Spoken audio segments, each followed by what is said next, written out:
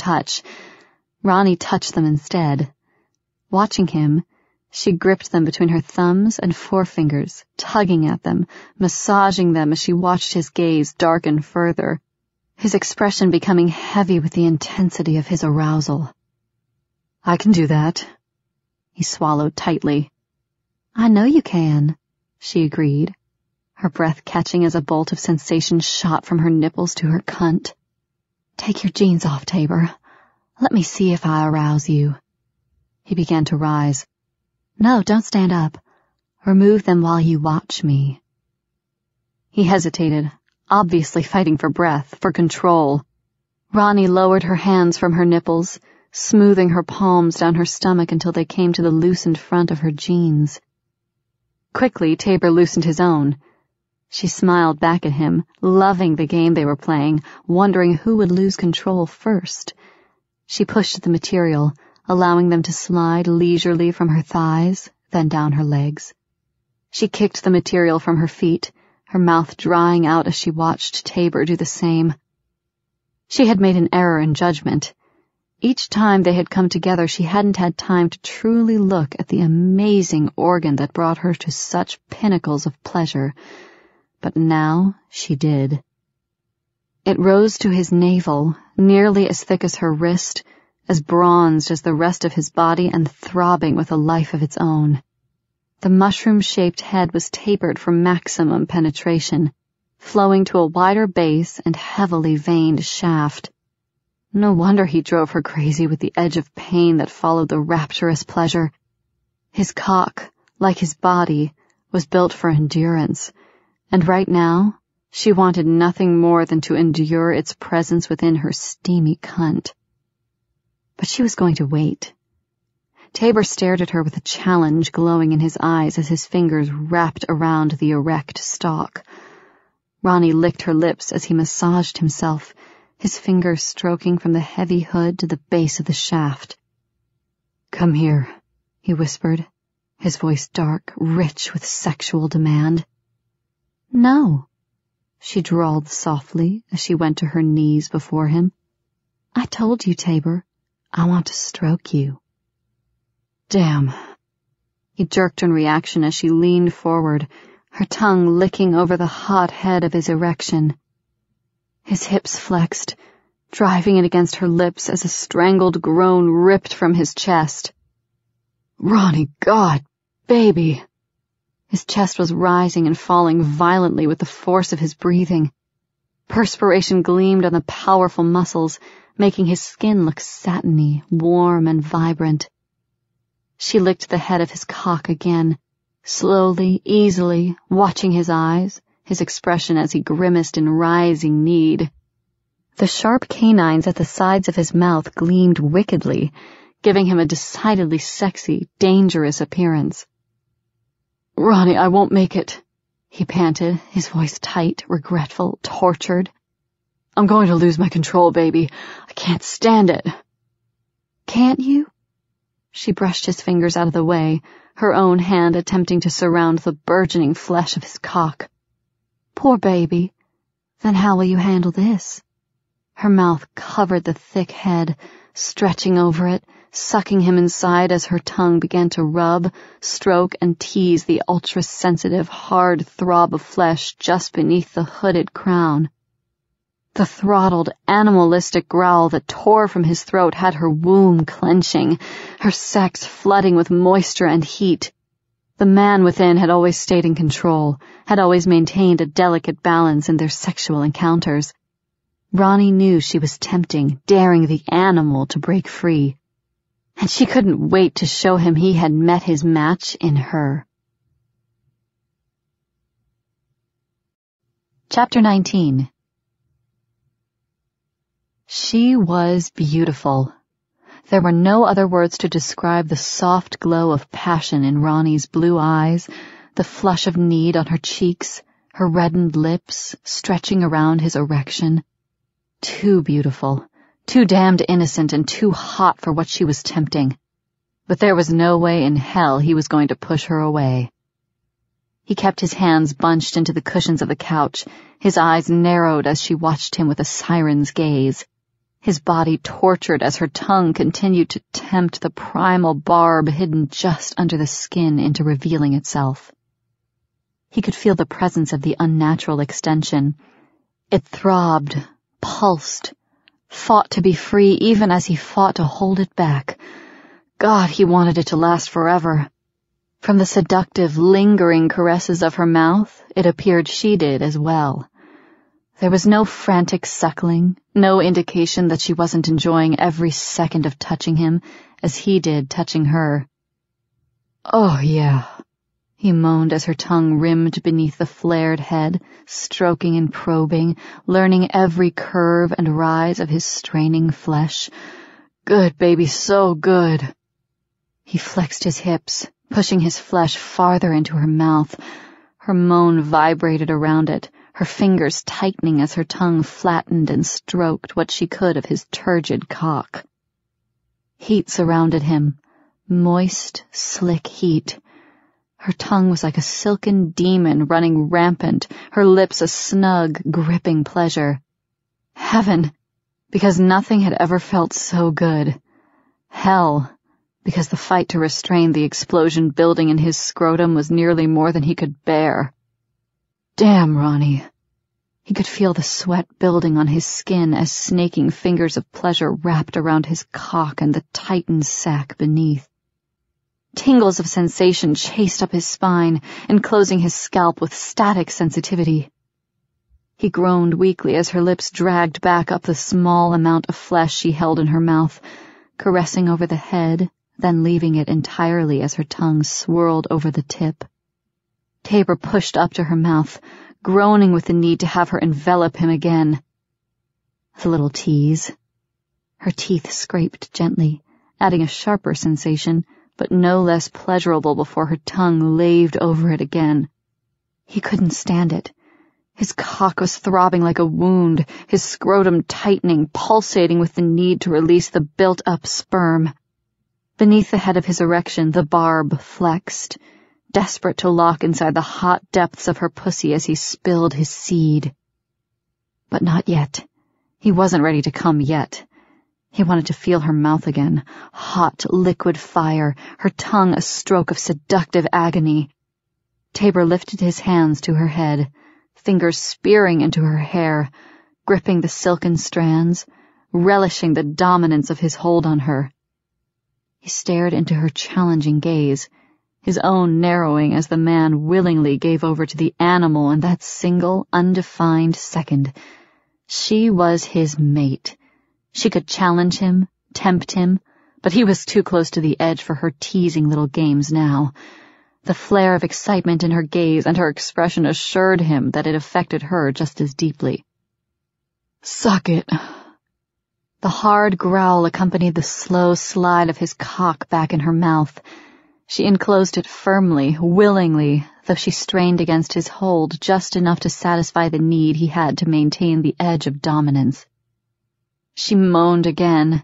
The sound echoed around the portion of his erection trapped within her mouth, causing the entire shaft to pulse, the hidden barb to press closer to revealing itself. Spearing shards of pleasure shot into his balls as the muscles of his abdomen clenched in spasmodic reaction. Sweet heaven. He fucked slowly into her mouth, holding her hair in a firm grip, relishing the snug drag of her lips, the flickering whip of her tongue. And all the while he watched her, watched her eyes darken, her cheeks hollowing out, her lips sliding over his cock. Oh, yeah, there you go, baby. He groaned as he rocked slowly back and forth, every muscle in his body tightening as he fought his release. Suck it, Ronnie. Suck it deeper, baby. He pushed back, filling her mouth, fighting not to breach her barrier of comfort in taking him. Her tongue flattened further along his cock, rasping tissue so sensitive he wanted to roar with the pleasure of it. Her moan of protest as he slid a bit too far had him pulling back in regret. She could take more. He knew she could. God help him, he needed her to. Breathe through your nose. Relax. He panted roughly, staring down into her wide eyes, gauging if it was fear or excitement lighting them. He prayed he was right and it was excitement. He felt the hot depths of her mouth relax marginally, her tongue losing a bit of its desperate tension. Yes, he hissed in pleasure. You can take more, Ronnie. Just relax, baby. Relax. He slid slowly inside her mouth as he chanted the word to her. She took the smallest amount more, enough to have him shaking, shivering and quaking pleasure as he watched his shaft sliding into her mouth. God, how much more could he stand? More. His demand was rough, rough enough that for an immeasurable second he fought the need rioting through him. Then he sank in further, nearly to the convulsive swallowing at the entrance of her throat. There he was. God, yes, that was it. He couldn't see his cock fucking into her mouth now, but the sensations of it were so extreme he decided he could do without it. He rested his head on the back of the couch, fucking her mouth with short, desperate strokes as the suckling, moist sound of it enclosing him had him groaning with each breath, fighting his orgasm with everything inside him. Ronnie, he whispered desperately, unable to hold back the words, the sensations tearing through him. God, yes, suck it. Suck me, baby, just like that. He could smell her heat now. She was so aroused, the sweet, earthy scent of her lust wrapped around his senses, drowning him in it. Her moans were another caress on his cock. Her fingers gripping him, stroking the shaft, were pushing him past his limits of control. The barb was a fierce, agonizing throb that he knew he couldn't hide forever. But not yet. He didn't want her to know, didn't want to chance her fear and disgust. Enough. He pulled her back, ignoring her protesting cry, fighting his own need to surge back inside the exquisite heat. The moist clamp of her mouth was paradise, but he knew it was one he could not yet fully enjoy. Tabor. Her voice was a thready, needy sound that had his erection twitching in barbaric demand. Fuck me, Ronnie. She was kissing his abdomen, her tongue licking as he held her back from the surging strength of his cock. Now, damn it, I can't wait, baby. He pulled her back into his lap, spreading her legs over his, lifting her, holding her close, then pushing her relentlessly down onto his raging cock. Oh, God. His cry joined hers as he worked the thick shaft into the ultra-tight recess of her blistering pussy. Hot, so hot, so sweet and slick. He pushed deeper, holding her as she arched in his arms, fighting to take more, her cry echoing through the dim room. Her cunt was a vice of slippery, flexing, torturous pleasure. The muscles clamped on him, fighting to accept him, to relax around the girth, spreading them apart. Nothing had ever been so erotic, so filled with lust and tempestuous sexuality. Take it, he growled, pressing her closer, feeling the protesting tissue grip and convulse as she fought to accept him. All of it, Ronnie, now take it, baby.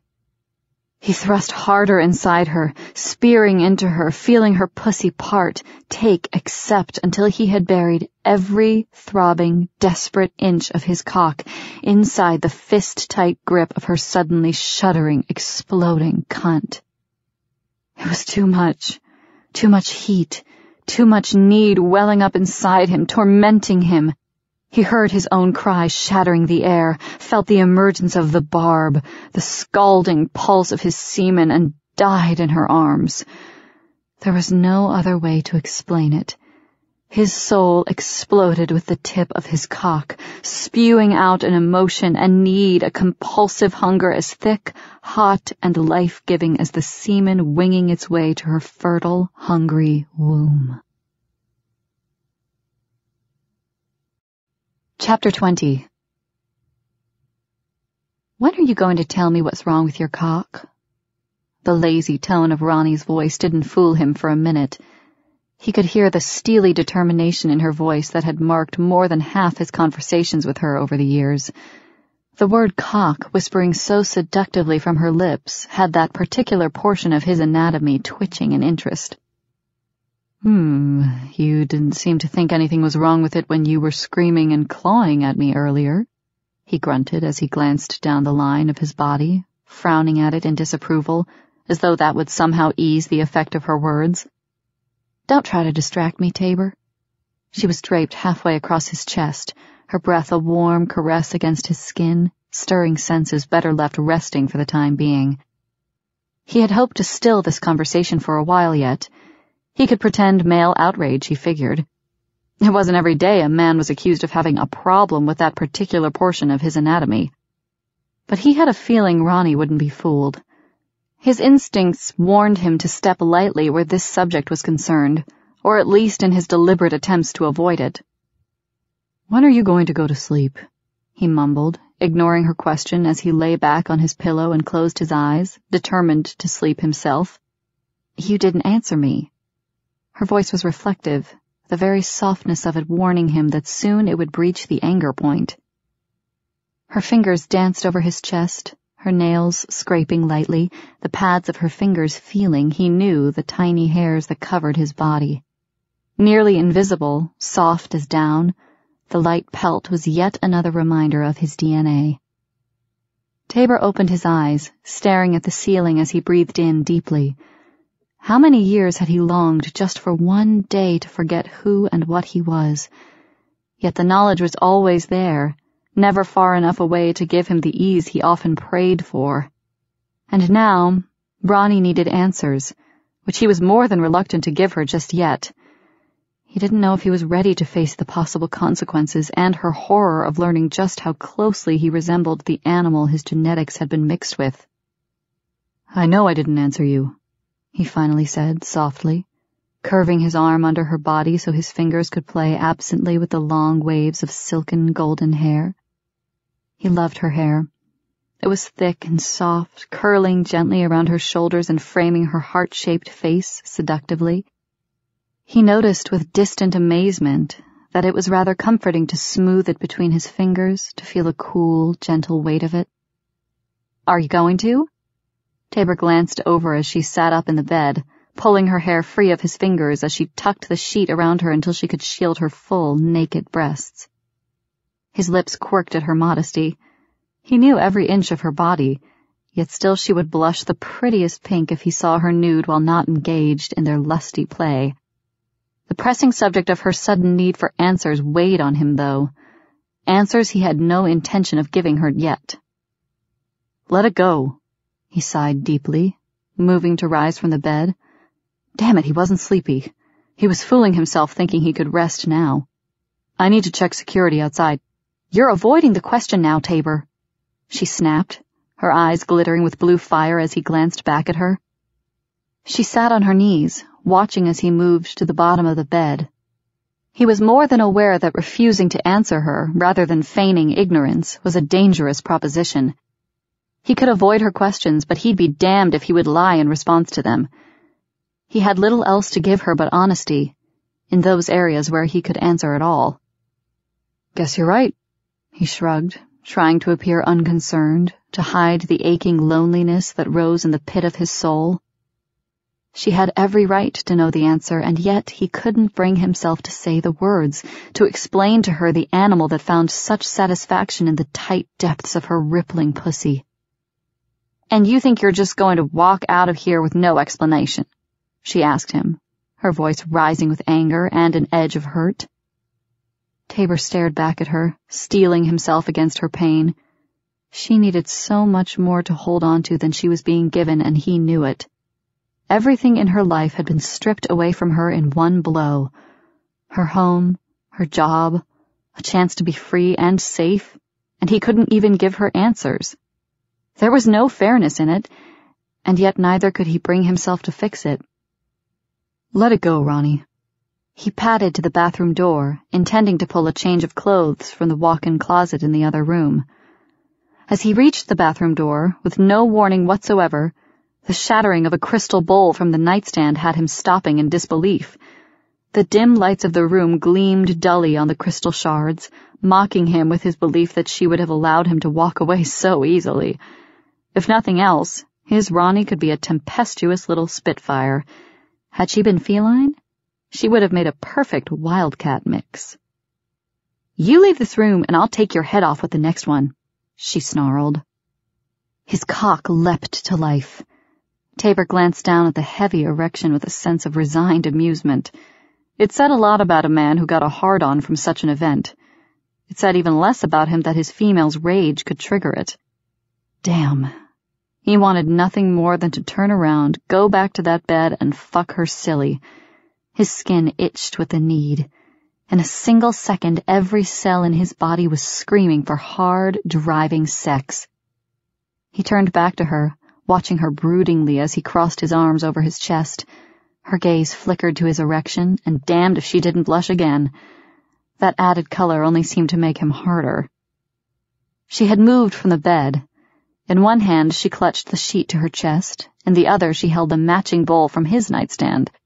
Evidently, the state of his arousal held no bearing on her determination for answers. It figured. You know, those came with the house, he sighed, nodding at the small, decorative item. I imagine they cost quite a bit. Who gives a damn? She was spitting mad now. I'm sick of you running out on me, Tabor. I'll be damned if I'll be tied to you while you waltz on your merry way, avoiding me whenever you feel like it. He watched her in amazement. Emotion, thick and hot, colored her voice while her eyes snapped with fury and stubbornness. Her slender body vibrated with emotion, her frown darkening her brow, thinning her full, luscious lips. She was tempting him to mount her there and then. I have never run out on you, Ronnie. Her words finally sank past his lust-crazed brain, and in the next second, his eyes widened as he jumped out of the way of her next flying missile. Son of a bitch, Ronnie! He sprinted toward her, jerking her back from the heavy candlestick that sat on the table as well. His arms wrapped around her waist, pulling her against him, restraining the violence he could feel shuddering through her body. What the hell's wrong with you? He released her as he tossed her to the bed, but he didn't attempt to follow her. He was tired of this, tired of the fury that filled her, the distrust, the shadows that haunted her eyes. I'm sick to damned hell of you accusing me of leaving you when it was your own decision to break off whatever relationship was beginning. She scrambled across the bed, landing on her feet on the other side. Better, he thought. The further she was from him, the more of his common sense he seemed able to maintain. Oh, come on, Tabor. I never took you for a liar, too, she yelled back, a sneer on her lips. Something else he was tired of, that sneer. Condescending, offending. Stop playing so innocent. You don't have to pretend with me. Not here while we're alone. The only reason I'm here is because of this damned mark you put on my neck. Otherwise, I'd still be sitting in Sandy Hook, wondering why the hell you changed your mind so quickly last year. He stilled, his instincts kicking in as logic began to take over. What couldn't be understood must be examined, studied, stalked, or hunted. And he sure as hell didn't understand this. Why I changed my mind? he asked her carefully, his chest tightening at the pain that had been reflected in her voice and her expression. It came much too close to the pain he had felt when he received her letter over a year ago, mere hours after he had placed that mark on her neck. And yet, by her own furious words, she believed he had broken off the relationship, new as it had been himself. Ronnie wasn't a liar.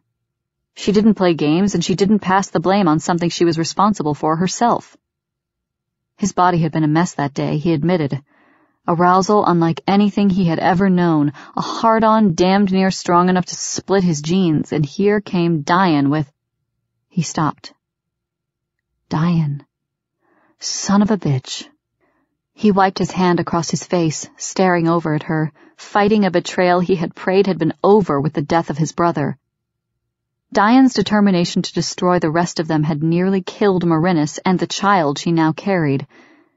His death was too well remembered. His betrayal burned too deeply into Tabor's brain to discount his senses. Dayan had lied, and Tabor had fallen for it. Don't answer that. He hated the hoarse, tired sound of his own voice as he stalked over to his dresser.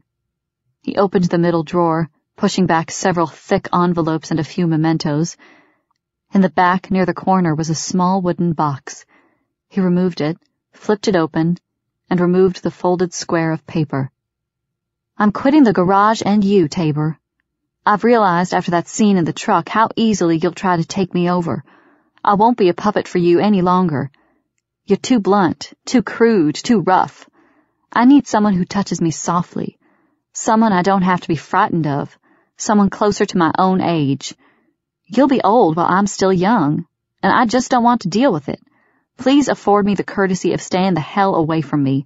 That's surely not too much to ask. Ronnie. He had the letter memorized. He was barely eight years older than she was, but at times it felt like centuries. Read this. He handed her the letter, watching her confused expression closely.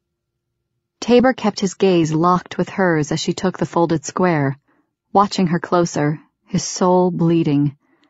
Instinctively, he knew she hadn't written that letter now. Knew that the past fifteen hellish months, needing her, aching for her until he thought he would die from the need, had all been for nothing. She unfolded the letter, her gaze moving to the words. Her eyes widened, her lips trembled. The pain that crossed her expression tore at his soul. I thought I was respecting your wishes, Ronnie, he whispered, feeling wearier now than he had in years. Dayan had been a trusted, much-loved member of the family. I will assume you received a letter as well, since I know Dayan's only true gift was that of forgery.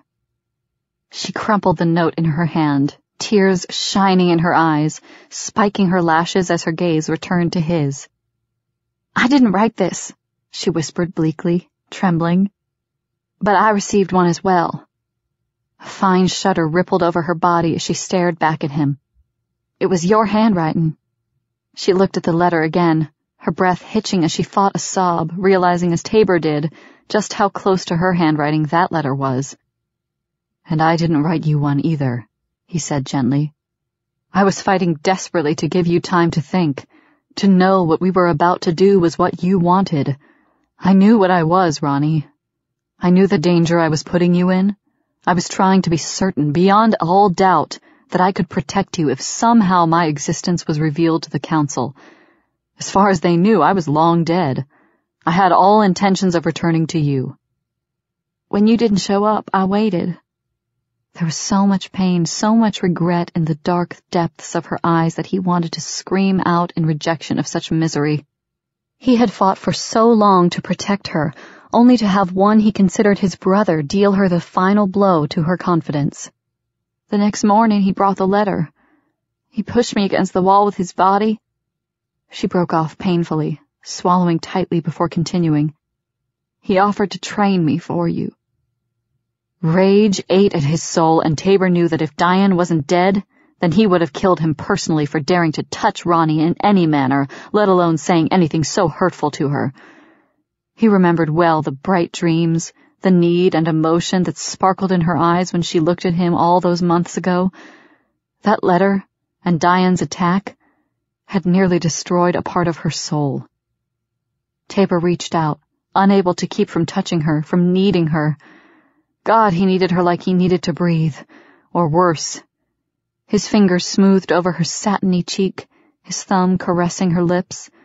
She had the softest lips he had ever known, and eyes that pierced every corner of his soul with sunlight when she was happy. Yet when she hurt, as she did now, it was like a knife plunging into his chest. I would have given my life to be with you that night, he swore, knowing it was no more than the truth. At the same time, the Council's mercenaries were moving in on Callan, and rather than let that rage loose where you might see it, I let it loose on them instead. I should have come to you. He had known that then.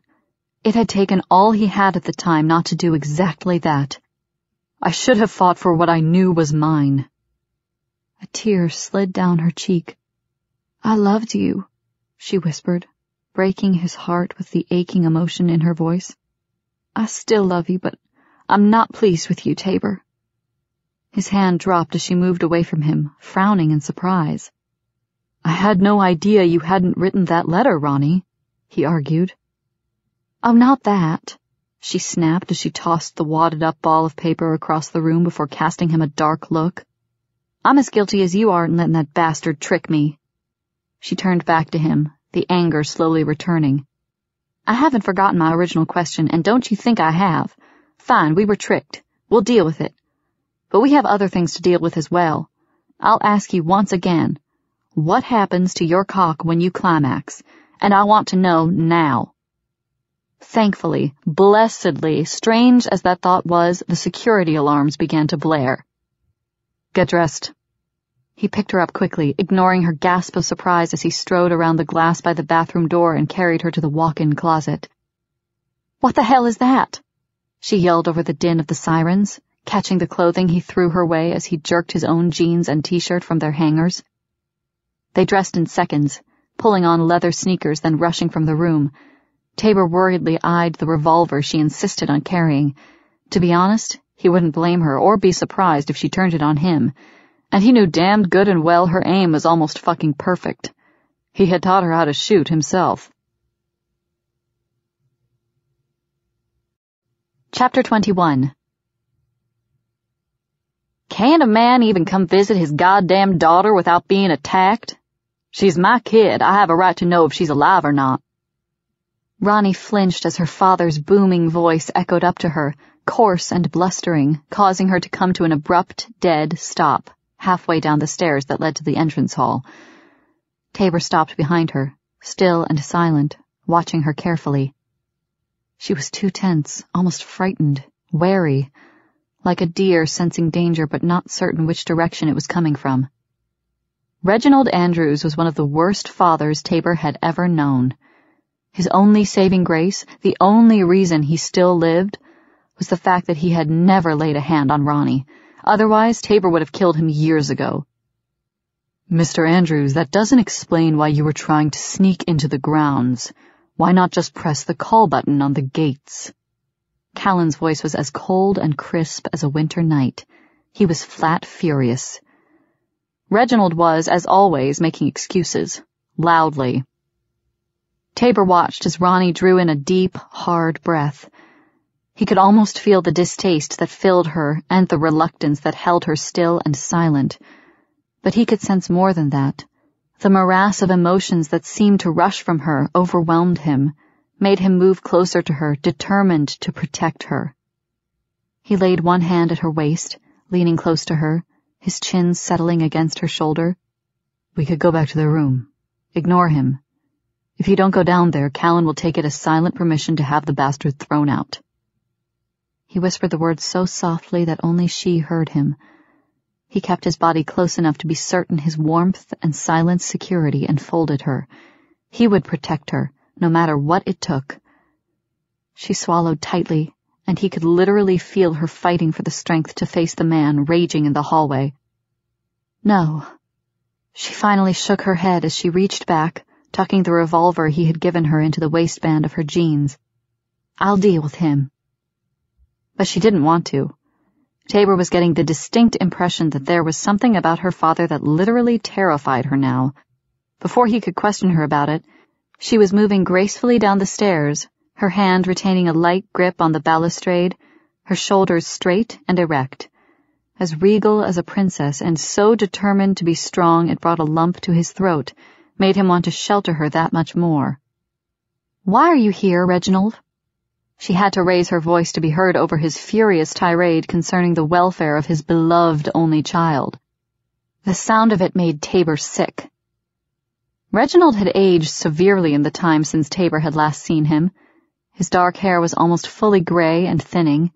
He tried to make up for that fact by growing one side longer than the other and combing it over the opposite side, giving him an off-center, clownish appearance. His brown eyes were dull, his cheeks ruddy from drink and overweight. He was barely six feet tall and not nearly as muscular as he had been even five years before. As Ronnie stepped into the entry hall, all eyes turned to her. The feline breeds filling the marbled entrance to the house were on alert, their hands on their weapons, their eyes sharp and missing not a move that the older man made. Ronnie. Reginald's smile was more calculating than loving. Callan had noticed it as well, if the narrow-eyed look of dislike was anything to go by. Tabor watched him closely, seeing the flash of hatred the other man tried to hide as he glanced at his daughter. Tabor moved quickly then to insinuate himself between Reginald and Ronnie, every instinct inside him screaming out that he protect her from whatever threat her father represented. Ronnie stopped as he stepped in front of her, confronting her father rather than allowing her to. Tabor. She laid her hand on his arm as he pressed it back, stilling her attempt to move in front of him. At his movement, the others stepped into protective positions as well, their eyes narrowing on Reginald, hands now gripping their weapons in preparation. Why are you here, Reggie? Tabor didn't bother with the formalities. Ronnie was upset, his own instincts were kicking into overdrive, and he would be damned if he would allow it to continue. Well, she's my daughter. Reginald's voice softened, but he couldn't hide the stench of his own lies. He wasn't there to assure himself of Ronnie's safety, which made him an immediate threat to her. Find time to remember that, Tabor growled, making certain to show the canines that he knew would gleam menacingly at the sides of his mouth. He was pleased to see a bit of the ruddy color dim in the other man's face as he paled at the sight. I don't remember it bothering you overmuch before. I can handle Reginald Tabor. Ronnie pushed at his heavy body, attempting to get him to move aside. There was no going around him as the other breeds had aligned themselves in a way that would keep her clearly out of the other man's reach. Tabor, you should at least let me see my little girl. Reginald's voice was too soft, too intentionally non-threatening for Tabor's peace of mind. Tabor, damn it, I can handle this. Ronnie kicked his shin, and it sure as hell wasn't a love pat. The damned woman had dangerous feet. He turned back to look at her warningly. Don't you give me that look, she snapped, frowning back at him in determination. Get out of my way so I can deal with this. Then you can send him packing. She was going to kick him again, and he knew it. He could see it in her eyes. Damn, he loved it when she got physical with him. He smiled at her, a slow baring of his teeth, a sexual reminder of retaliation. He was pleased to see the slight widening of her eyes, the ripple of response that was barely detectable, the scent of sweet, clean arousal that suddenly bloomed from her body. He stepped back slowly, his arm going behind her, his hand clasping her hip to be sure she stayed close and well out of reach of the threat he was sensing. Humph. I can see you're getting along fine. Reginald couldn't hide the small telltale hint of vindictive displeasure in his voice. The insult that had Tabor flexing his muscles in preparation to take the bastard apart, limb by limb. Broke already? she asked him softly. Her voice was smooth and mocking, but Tabor sensed the anger he could feel building inside her. Reginald grunted. They burned the house. Your mom's pictures, the quilts, everything's gone. Ronnie flinched noticeably. Tabor speared the man with a look that promised retribution, a rumbling growl of warning sounding from his chest. He was deliberately hurting her now, choosing his words carefully, striking where she was most tender. Reginald eyed him warily. You used to be nicer than this, Tabor. He sighed as though the reception he was receiving disappointed him. And you used to be smarter than this, Reggie, Tabor retorted softly, barely restraining his violence. If only he could figure out why the other man was sending his instincts off the scales, then he would feel more comfortable. You've seen her. She's fine. You can leave now. Ronnie, you gonna let them throw me out? Reginald turned to his daughter the whine in his voice grating on Tabor's ears. Things are real tough right now, with our pictures flashing all over the television screens and your association with this. Reginald paused insultingly. Man being reported all over the world. I can't even get a decent job from the old sources anymore. The old sources, no doubt, being illegal. You should have spent your last payment more wisely, Reginald. She tried to sound unfeeling, cool under pressure, but Tabor could hear the pain in her voice. This isn't my home. Mine burned to the ground. Remember? I have no right to determine who stays and who goes. Reginald cast Callan a calculating look. You gonna throw her daddy out on the street? You know how much trouble this has caused me, Callan. Callan watched Ronnie as closely as Tabor did. You have family. Ronnie reminded her father almost desperately. I'll give you the money, Reginald.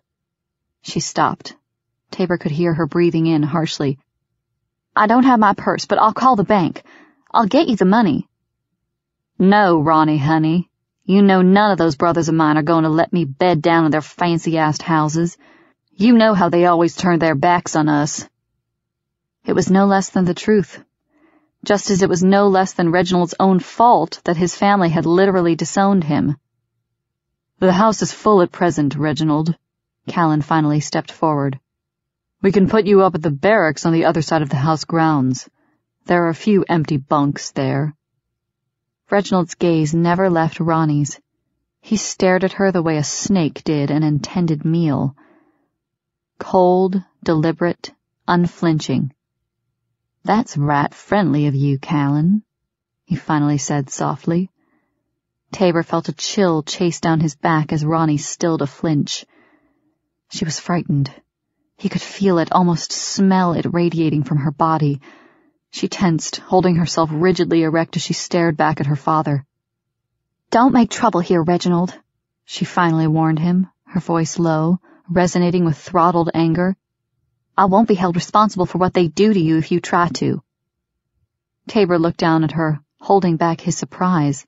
He had never heard Ronnie threaten anyone other than him, personally and certainly never her wayward, mercenary father. Why, Ronnie, shame on you making these good people think I'd cause trouble. He hadn't even blinked as he stared at her. You know I'm a right social person. They won't have a peep of trouble out of me. Tabor tensed at the veiled threat directed at Ronnie.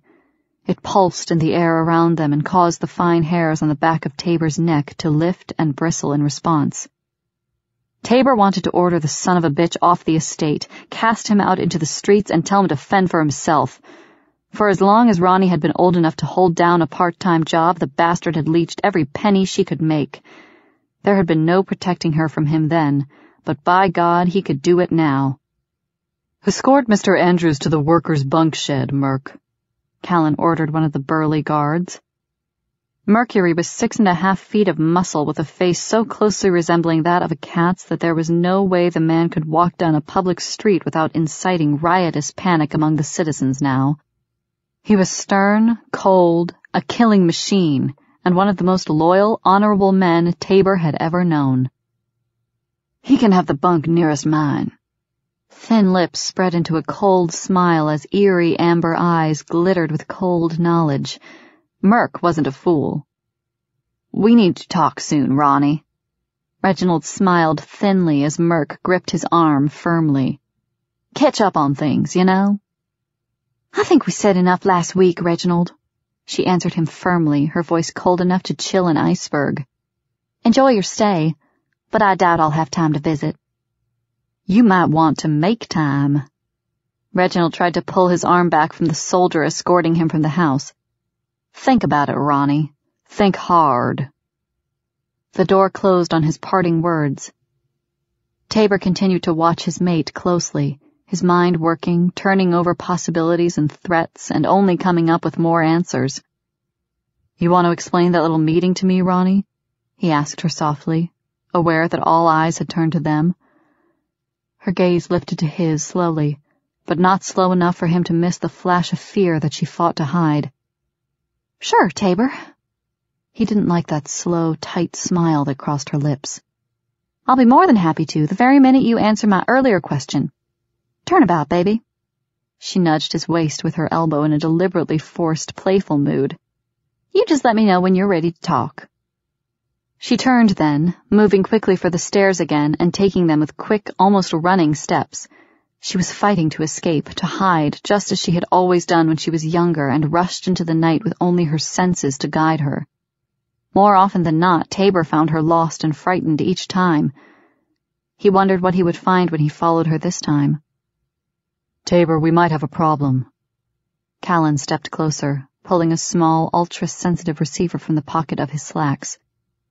I picked this up from the office when Merc informed me who he had. The receiver was a handy little bug locator given to them by the U.S. military. Good old Reginald was wired for sound to hell and back.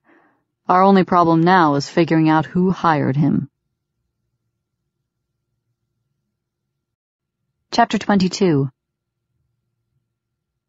The best way to figure out what he's up to is to keep him from Ronnie as long as possible, Tabor told the men assembled in the large office downstairs early the next morning.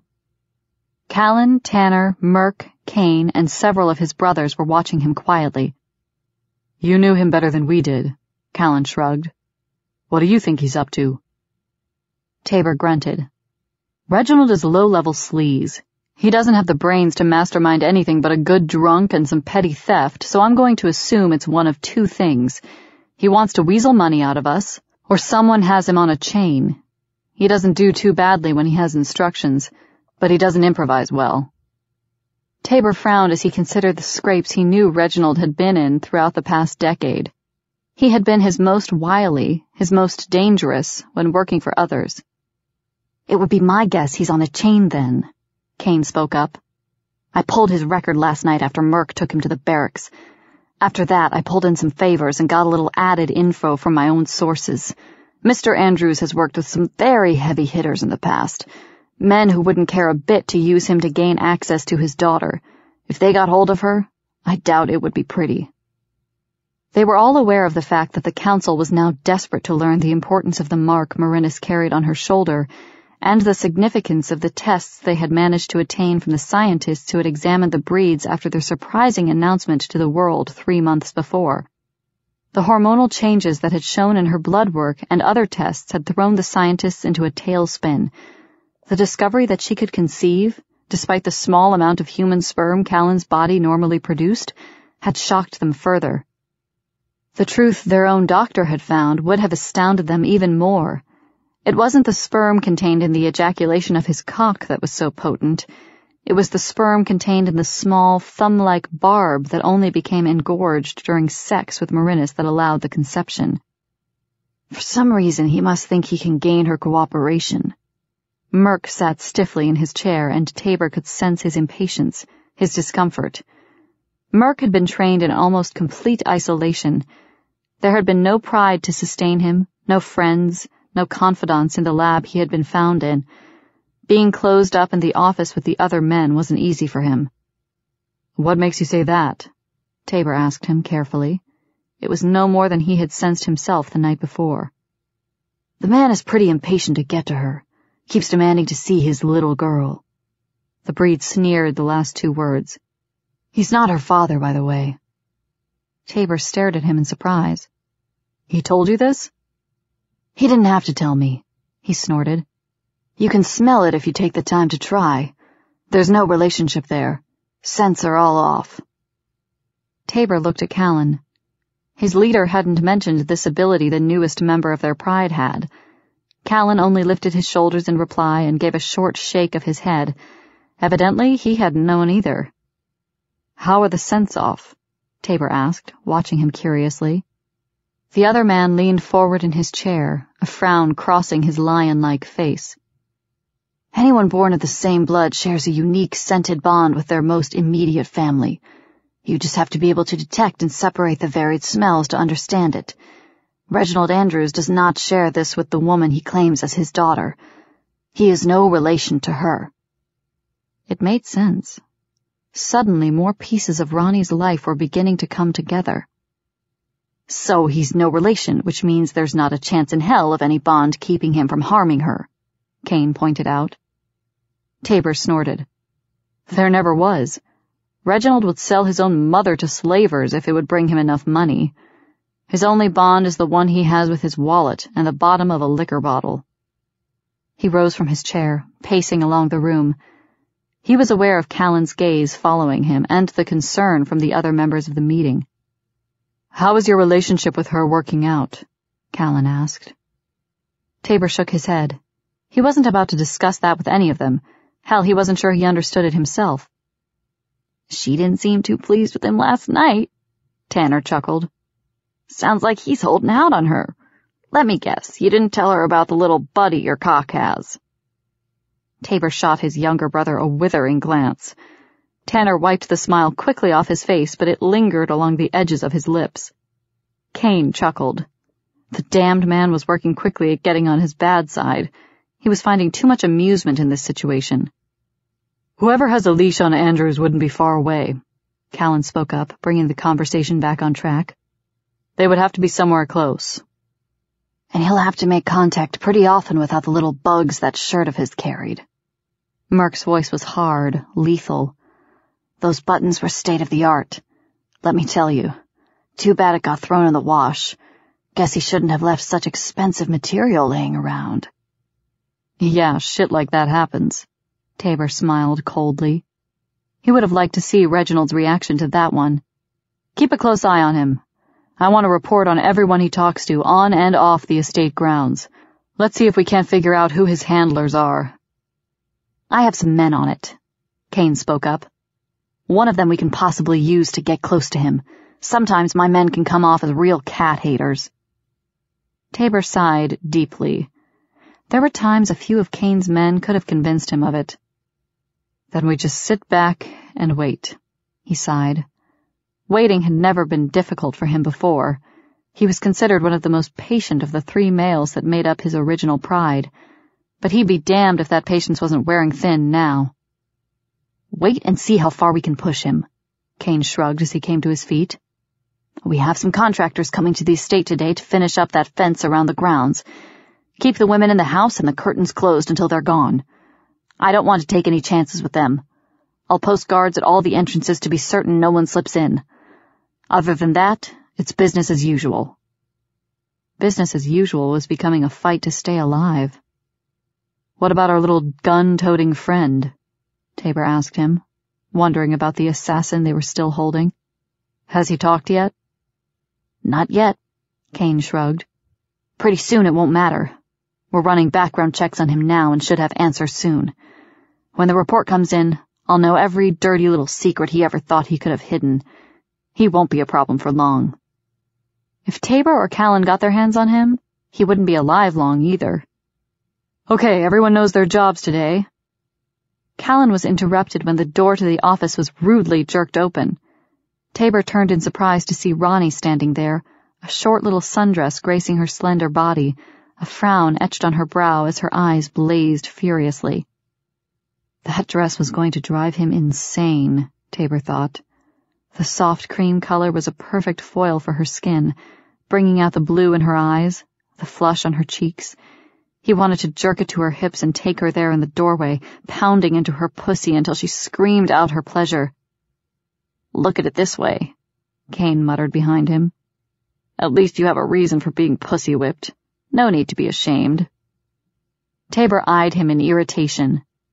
You know, Kane, when Sherra finally decides to show you what you keep daring her to, I'm going to enjoy giving you back every smart-ass remark you've ever made. Count on that. Meow, Kane chuckled. Good luck, Garfield. Catch you around. Ronnie? Tabor questioned her when she didn't move from the doorway. Is everything okay? It wasn't. He could smell the desperate heat coming off her body, but mixed with that, he could sense the pain she was fighting so hard to tamp down. She glanced at the other men. I'll come back. I didn't know you were busy. That's okay. He shook his head in response. We're pretty much finished up here. He moved to her, amazed at the sensitivity of his own flesh as he neared her, as though a part of him longed for nothing more than her touch. It was a strange feeling for a man who had never known such a weakness before. He watched the way she glanced at the others uncomfortably, her gaze flickering to them before lowering. A light blush stained her cheeks, and the soft color only added to the beauty that never failed to amaze him. What's wrong?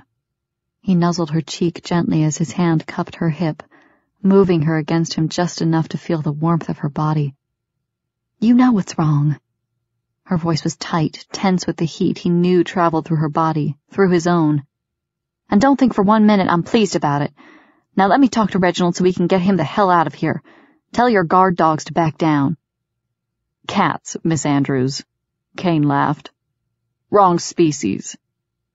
Various snarls greeted his words, not the least of which was Tabor's. He was running out of patience with this loosely related brother-in-law. No, he finally turned back to her, regretting the anger that flared in her eyes. Not yet, Ronnie. Not until I know how dangerous he is. I won't allow you to see him. He watched the fire that snapped in her eyes, his cock thickening in arousal as he felt her preparing to defy him. Won't allow me? She snapped furiously. You won't allow me? Since when, Tabor Williams, do you have the right to allow me anything? He smiled tightly, tamping down the need to show her rather than tell her exactly what gave him that right. She was tempting him, daring him, pitting her stubbornness against his own, and he was about to inform her who would win, in no uncertain terms.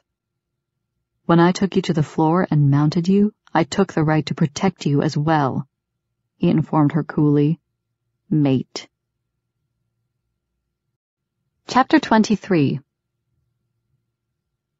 The office cleared out rather quickly after Tabor's words seemed to echo around the room. His voice pulsed with ire, with lust, setting her nerves on edge, causing the blood to thunder through her veins. She couldn't figure out how he managed to do it. It had to be that damned hormone he kept infecting her with. To say his kiss was addicting would be an understatement in his case. You have no right to tell me what to do or how to handle my own father, she snapped, slamming the door behind her. And you sure as hell don't own me just because you managed to infect me. Infect you? He snarled. God damn it, Ronnie, it's not a disease. Bet me, she dared him recklessly, her anger and her lust merging. It's painful, Tabor, and I don't like the reaction it produces. The lie nearly seared her lips on its way out. There was nothing she liked more than the results of the searing heat they shared. And I sure as hell don't like this possessive attitude you seem to want to take. Too bad. He crossed his arms over his chest as he stared back at her furiously. Guess you're just going to have to live with it, aren't you? Her eyes narrowed dangerously, her lips thinning with rising anger. Now, if she could just get her breasts to stop swelling and her vagina to dry up, maybe she could really blast into him. It was hard to be pissed when all she wanted was to be fucked. Tabor, I'm about to lose my patience with you. She sighed roughly, pushing her fingers through her hair, hating the sensual feel of it sliding along the bare skin of her upper back. She knew better than to let Merinus talk her into wearing this damned dress. Why? He laughed in surprise.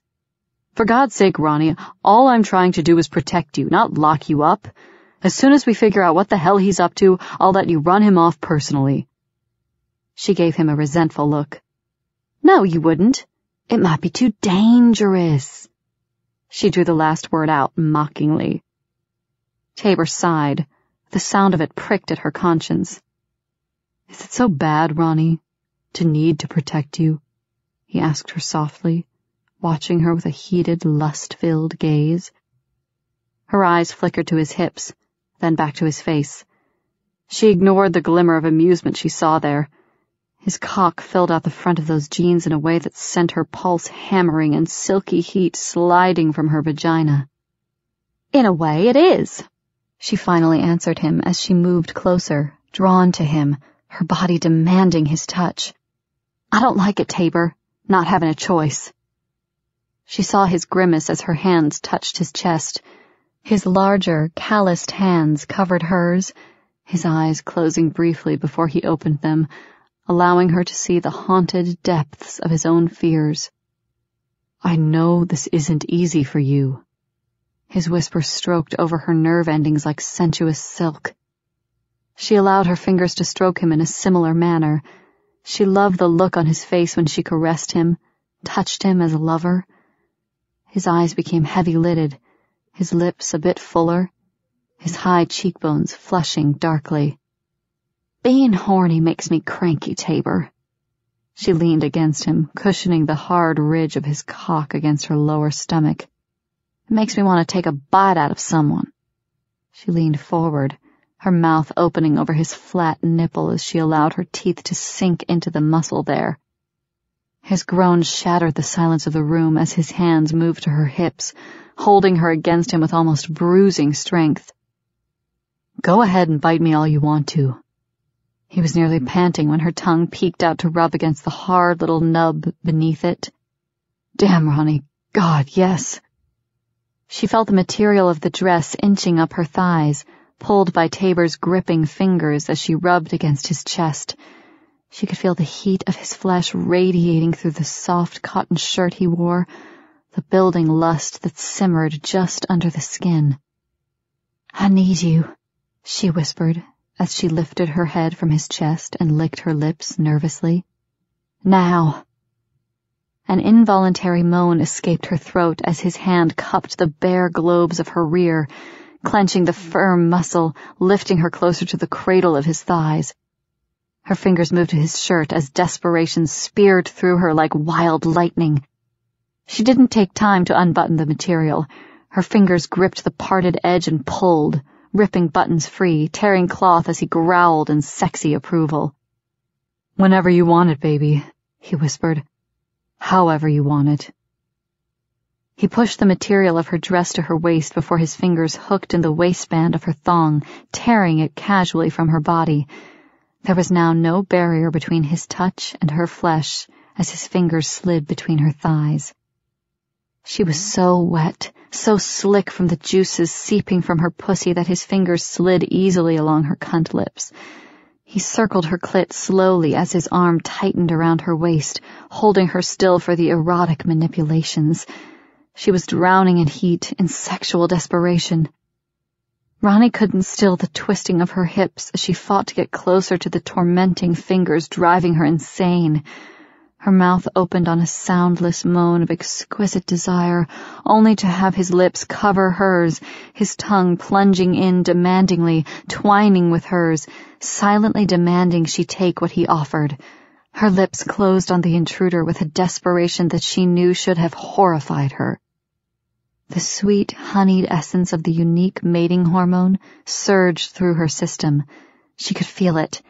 The taste of him filled her first, then, within seconds, she could feel her blood heating, burning through her veins, surging to her nipples, her sensitive cunt. Good girl, he whispered thickly as he drew back from her long moments later, staring down at her, his gaze hot, as two fingers spread her inner lips before plunging inside the gripping depths of her pussy. Ronnie rose to her tiptoes as a harsh exclamation of near orgasmic pleasure rushed past her lips, his fingers thrust ruthlessly inside her once again, spreading her apart, working in and out with a fierce, controlled rhythm that had her pussy gushing. Tabor! Her fingers struggled with his belt, desperate now to release the hard wedge of his erection from the confining material of his jeans. She needed him with a hunger she couldn't control, one she didn't want to control hard and fast, slamming into her pussy, driving her to the edge of madness and beyond. I can't wait to sink into this tight little pussy, he whispered, his voice guttural, vibrating with the animalistic growl that never failed to make her cunt clench. It did so now, causing him to groan against her lips as he licked them hungrily. Come for me, baby. Let me feel you come on my fingers. His voice stroked over her senses, his fingers fucked into the tormented depths of her gripping cunt, driving her insane with the whiplash of pleasure that tore through her body. Ronnie was gasping for breath as she felt the heated coil in her womb tightening with spasmodic intensity. She fought for breath as his fingers took her ruthlessly, driving deep, stroking nerve endings that were throbbing in desperation from each plunging thrust. Tabor, I can't stand it. She was drawn tight, hips thrust forward, gyrating on his fingers as he pushed her closer to the brink. Take it. He held her tighter, his fingers working inside her tormented pussy, his thumbs stroking the swollen bud of her clit. Come for me, baby. Let me feel your pussy explode, Ronnie. The sounds of hot, wet sex filled the room. The plunge of his fingers slapping inside her, her moans tearing through her chest, his explicit, exciting words pushing her over the edge as nothing else could have. Her back arched as she felt the end rushing for her.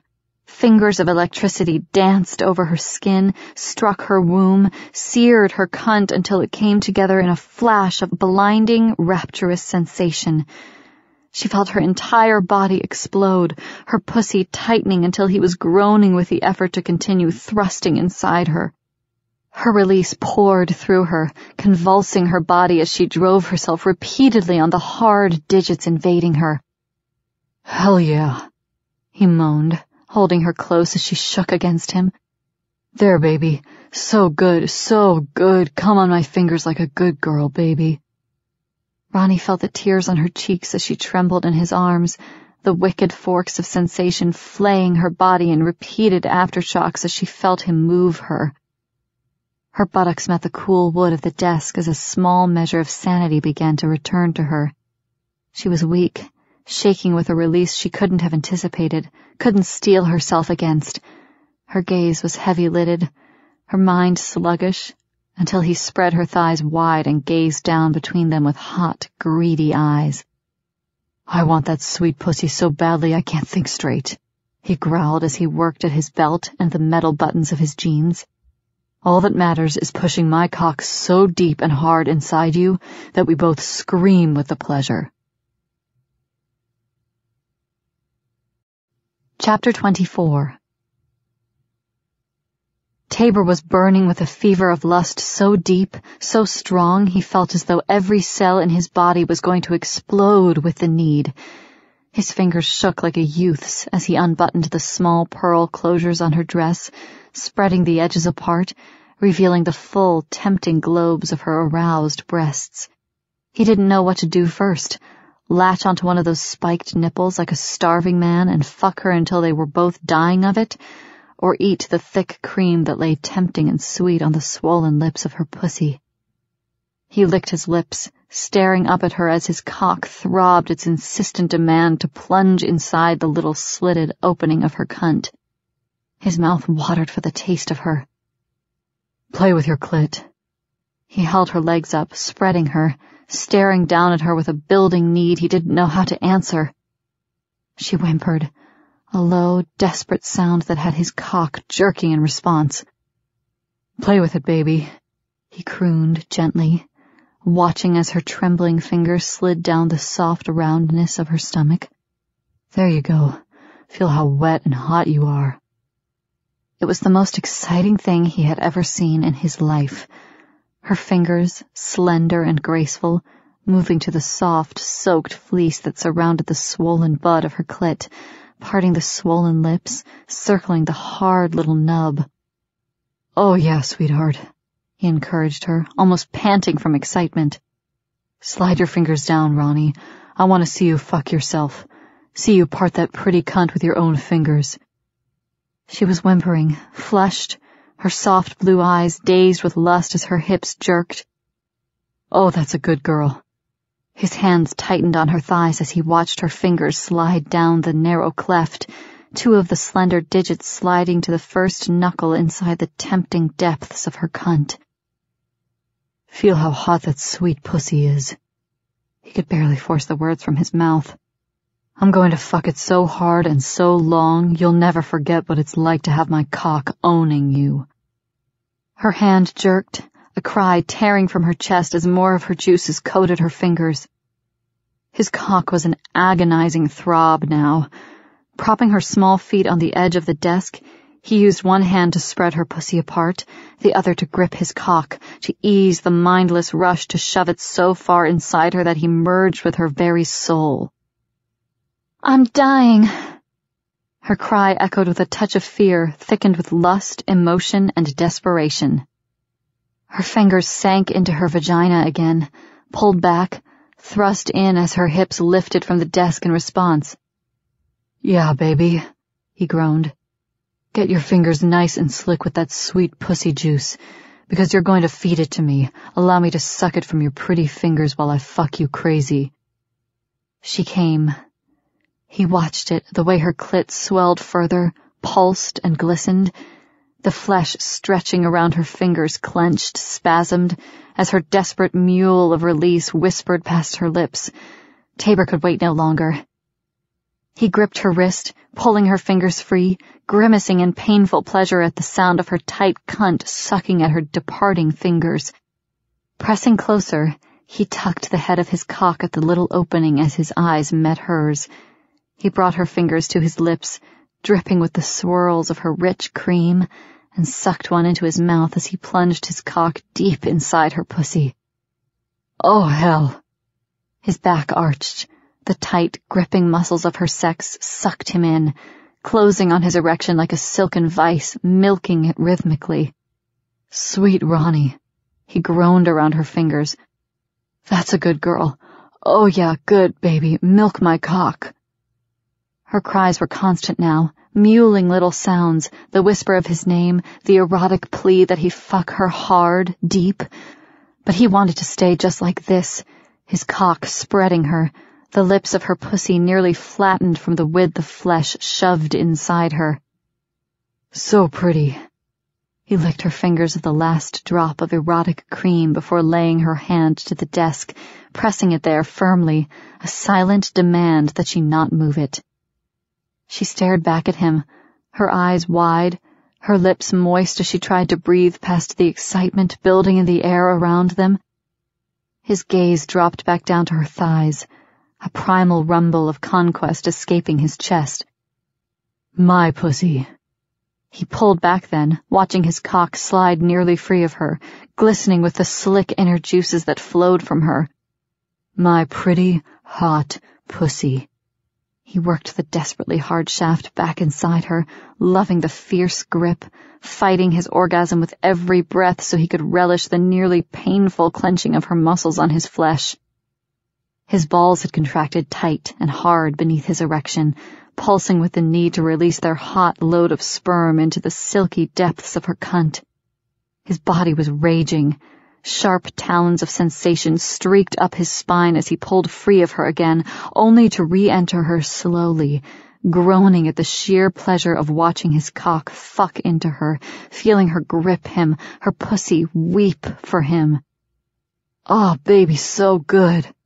She tightened on him again as the head of his cock sank to the entrance of her womb, pulled back, stroked in.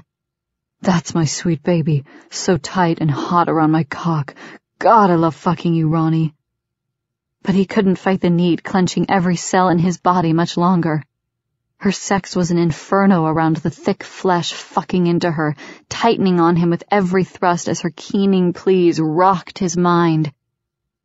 He was unable to stop the building speed of each penetration, his mind consumed by the sheer exhilaration of burying his cock inside her, feeling the tender flesh glove him, tighten on him.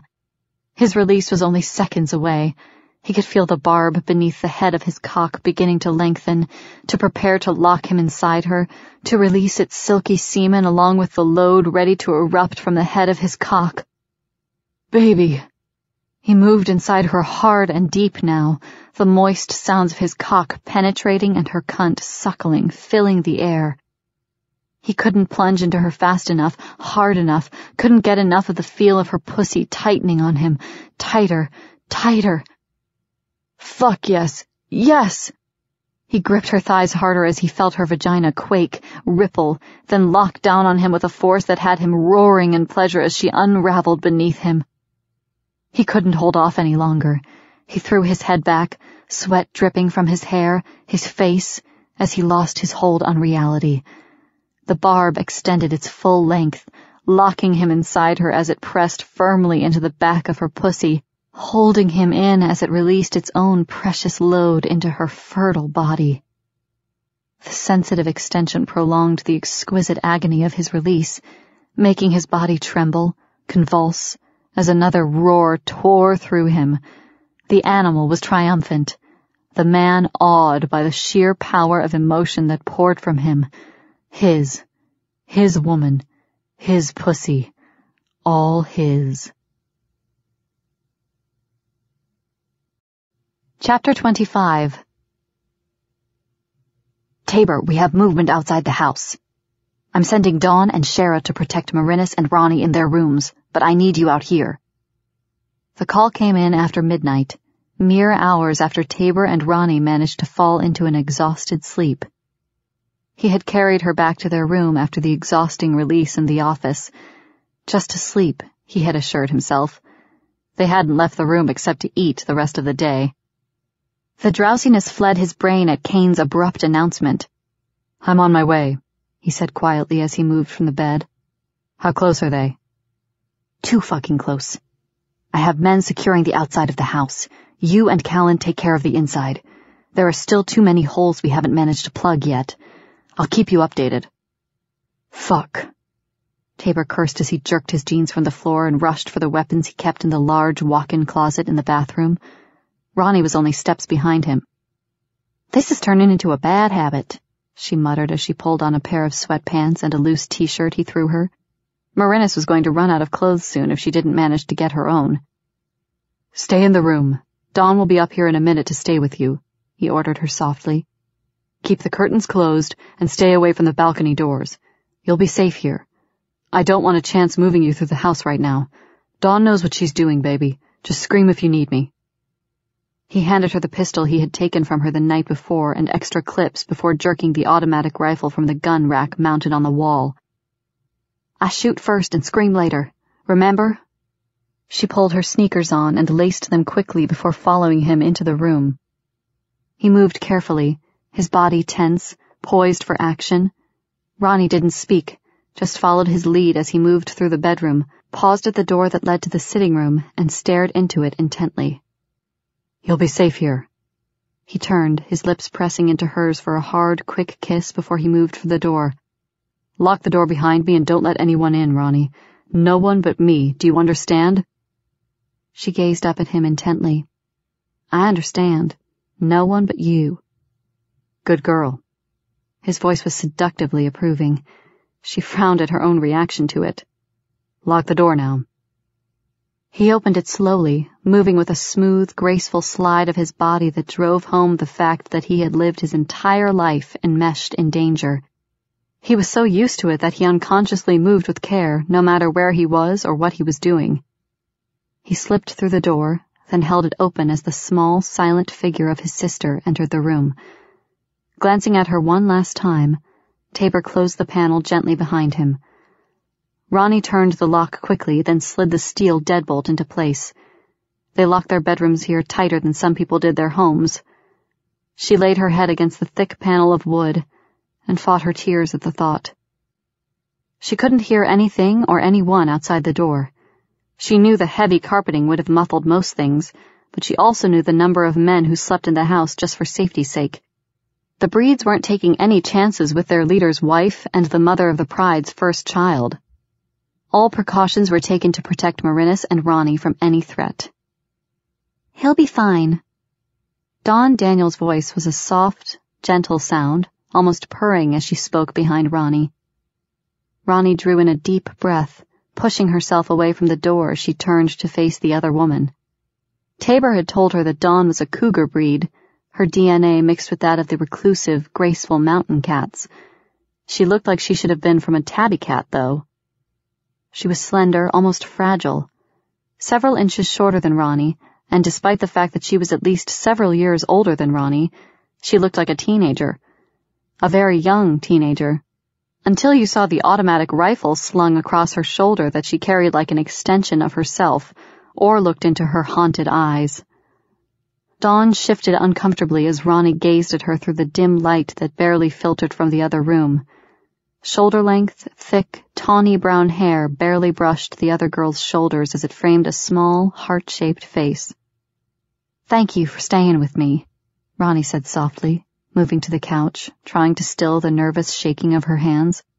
She laid the gun on the cushion beside her as she curled up in the corner, watching the other woman. Dawn followed suit, though she took the chair opposite her, propping the rifle against her knee as she watched Ronnie with shy curiosity. Tabor's one of our best fighters, she said in that soft, melodic voice. He won't let anyone get up here, and if they did, I wouldn't let them pass the door. A thread of steel ran beneath the last statement. There was barely enough light to see by, but Ronnie glimpsed the flash of rage in her eyes. Ronnie hadn't had a chance to really talk to Dawn, or any of the other family members she had known in Sandy Hook. Not that anyone could really have claimed to know Dawn. She was rarely seen in the small town, and when she was, she rarely talked. There was something too silent, too heartbreaking in the quiet features of her face, as though she carried a cloak of nightmares about her at all times. The estate here is gorgeous, Ronnie finally said, desperate to keep the other woman talking. She needed to concentrate on something other than the possible dangers Tabor would face outside. How did you find it?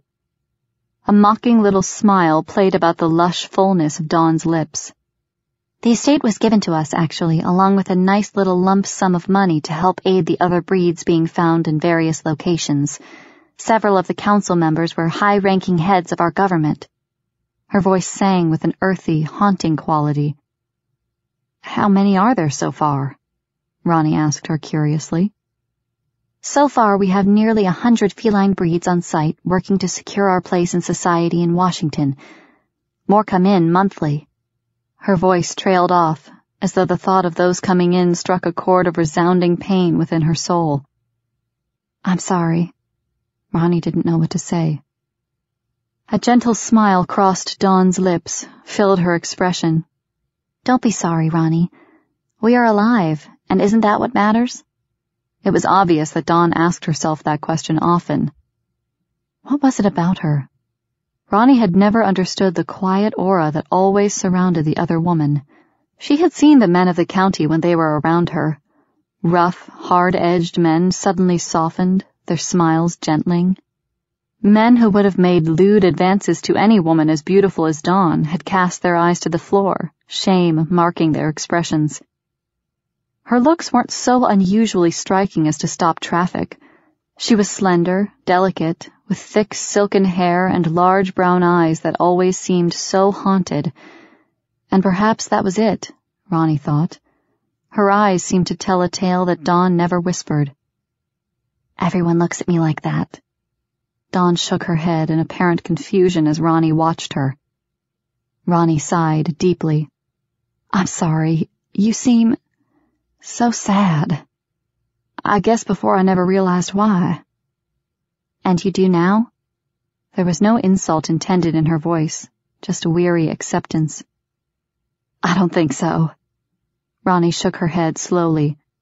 I think it's more than the situation, more than your entrance into society. How old were you when Callan brought you out of the labs? And there was the answer. Her eyes flashed, nightmare, memory, and terror. I was fifteen. Sherra was eighteen. That was more than ten years ago.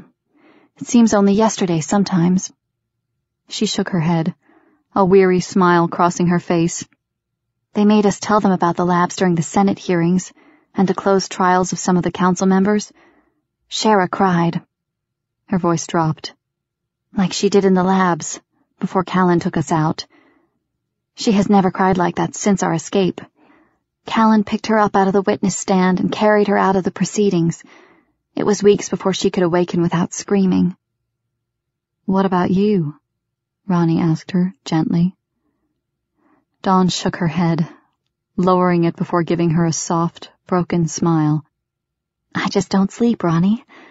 Not for long and not very deeply. What's the point when the monsters can take you again and again and again? She shuddered and came to her feet, her head tilting, her eyes suddenly narrowing as the gun fell naturally into her grasp. What? Shh! Dawn hissed softly. Listen. She heard it then. A scratch, a scrape at the balcony doors.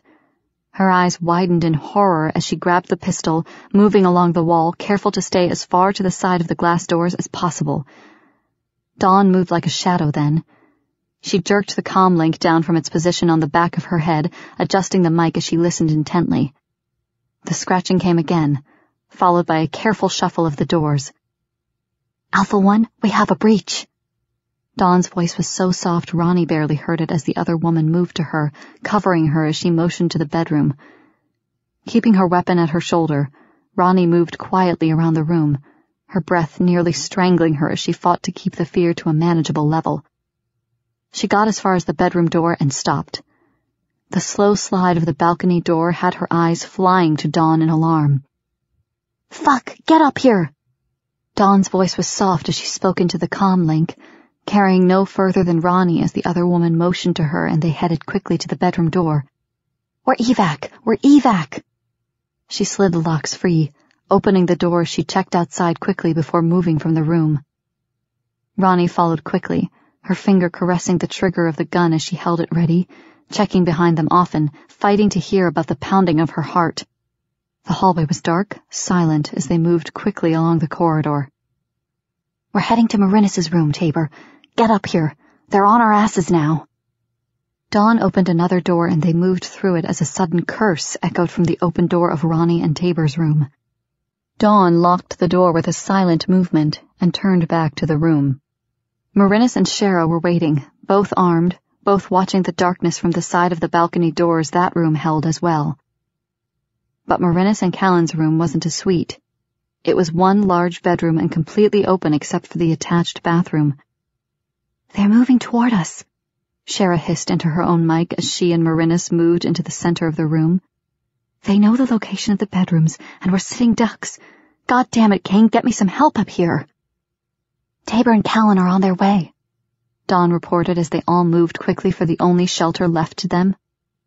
The bathroom was as large as Tabor's, but still, it afforded few places that could be used to stop a bullet. Ronnie placed herself in front of Merinus instinctively. Dawn and Sherra pressed them back, though, shielding them from anyone who would attempt to come through the doorway. Priorities, Ronnie thought sadly. Sherra and Dawn considered themselves expendable in the place of the only two mates to the brothers they had fought beside for so many years, just as Ronnie considered herself expendable against the life of the child Merinus carried. And yet, they were all pawns as well, because someone knew the breed's weaknesses, and they had found a way to strike. Chapter 26 Tabor had promised Ronnie she would be safe. He had told her to lock the door, not to leave the room. No one would get to her. The acrid taste of failure coated his mouth. He had been wrong. He entered the back of the house at a low crouch, his rifle held ready as he swept through the kitchen, then stood aside to allow the other half-dozen men who followed his entrance. His blood pumped with the demand that he rush upstairs, that he blow the bastards to hell and back, but he knew the risk to Ronnie would only be greater. Kane's men were moving on the balconies to trap the bastards. Now Tabor and his men would move up the stairs to catch them on this end.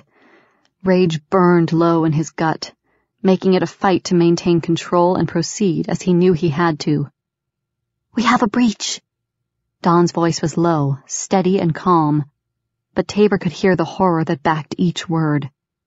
We're compromised, Tabor. Each man had received the same transmission. Silent as the night, as deadly as the animals their DNA mixed with, the men surged up the stairs. They caught the first four outside Callan's room as they were opening the door. The assassins never knew what hit them. Tabor wrapped his arm around the neck of one of them and twisted with a sharp, deadly move that resulted in the muted, satisfying crunch. The others fell the same way, only to be pushed aside as Tabor opened the door slowly. He went in at a crouch, throttling his roar of triumph as they met the other group of would-be assassins in the middle of the room. Their eyes widened in surprise at the force they met as they turned to make their escape. At the same time, Kane's men stepped through the balcony entrance. Oh, look, Callan, they want to play, Tabor drawled as one raised his weapon.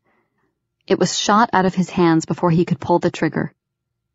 Keep the women in there, Sherra, Callan's voice was cold, deadly as he stepped farther into the room and smiled the cold smile of death Tabor had rarely seen on his face.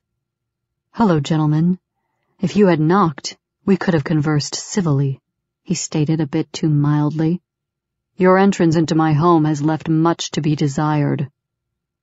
Tabor lowered his weapon as Callan handed his off to him. Tell me, Tabor, what should we do with such rude guests? Make nice, or have a late night snack. Tabor allowed the snarl curling his lips to rumble through his chest.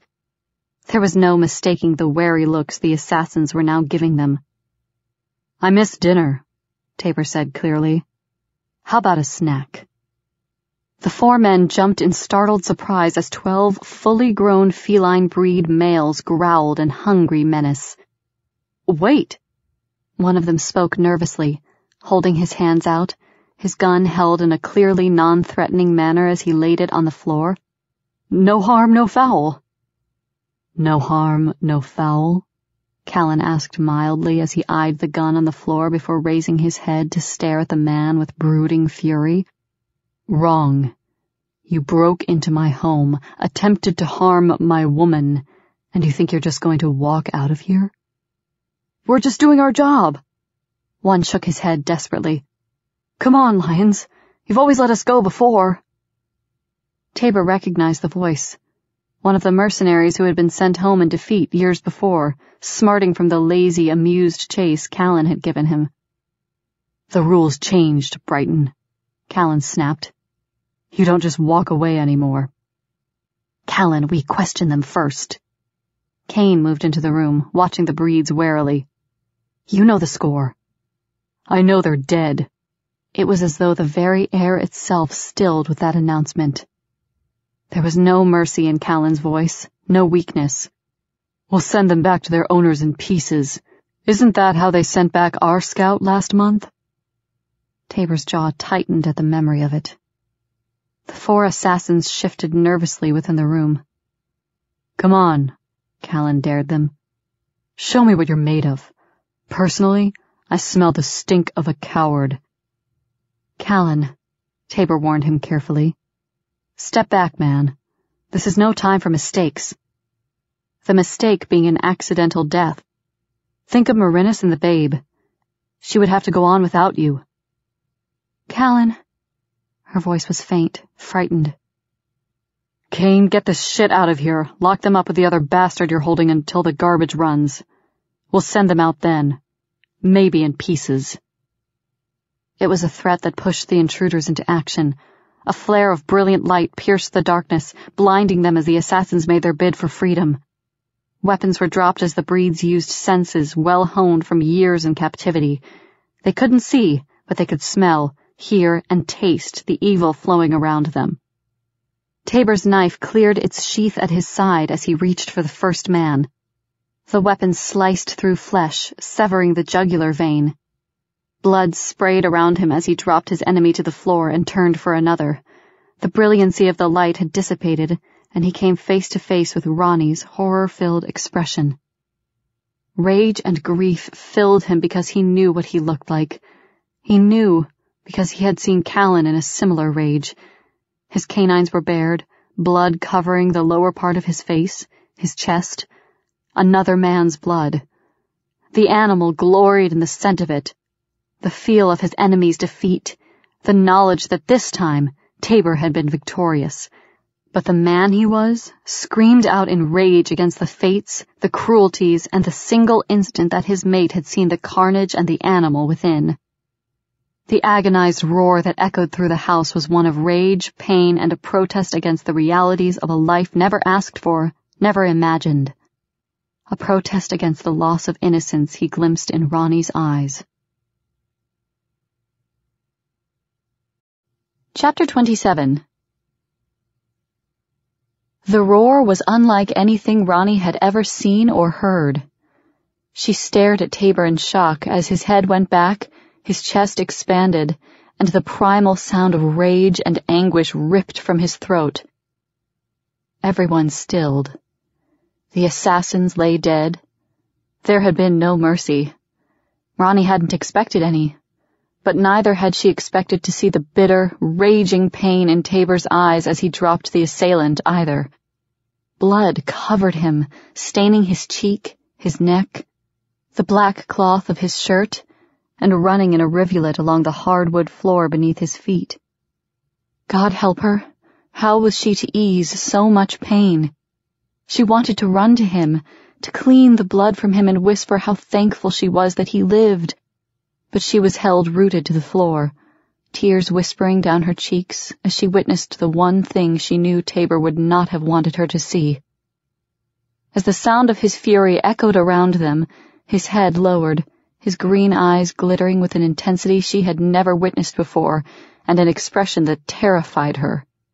His legs ate the distance between them as he moved to her, gripping her wrist and jerking her along behind him as he headed for the door. Tabor. Callan's protest was cut off when Tabor turned back to him with a snarl so threatening, so demanding, that the other man stood back, shaking his head in regret. Damn it, Callan, stop him!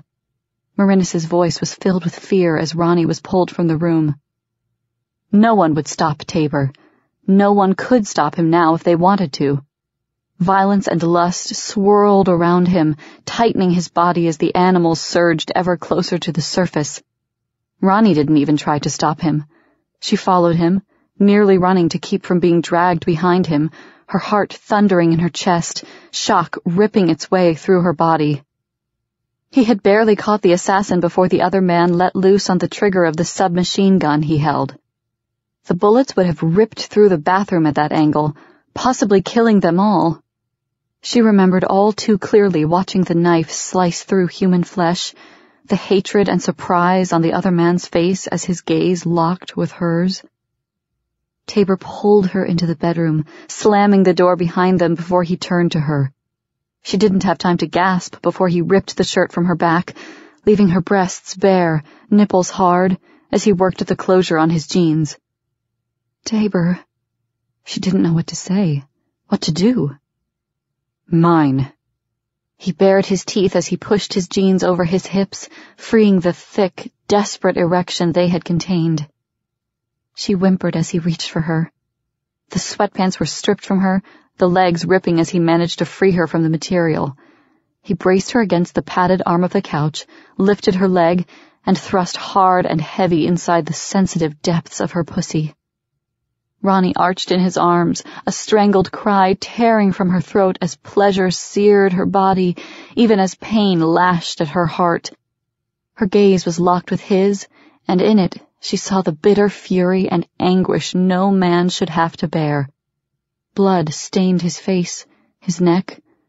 His eyes glittered with remorse, with hunger. Ronnie. His voice was strangled as he paused, buried to the hilt within her, a small measure of sanity replacing the bleak horror in his eyes. Ronnie. She covered his lips, her fingers trembling. Feel how wet I am for you, she whispered with a sad smile. How much I love you inside me, however you need me, whenever you need me. Tears filled her eyes as he blinked down at her. Part of the feral intensity had faded, leaving instead an overwhelming sadness.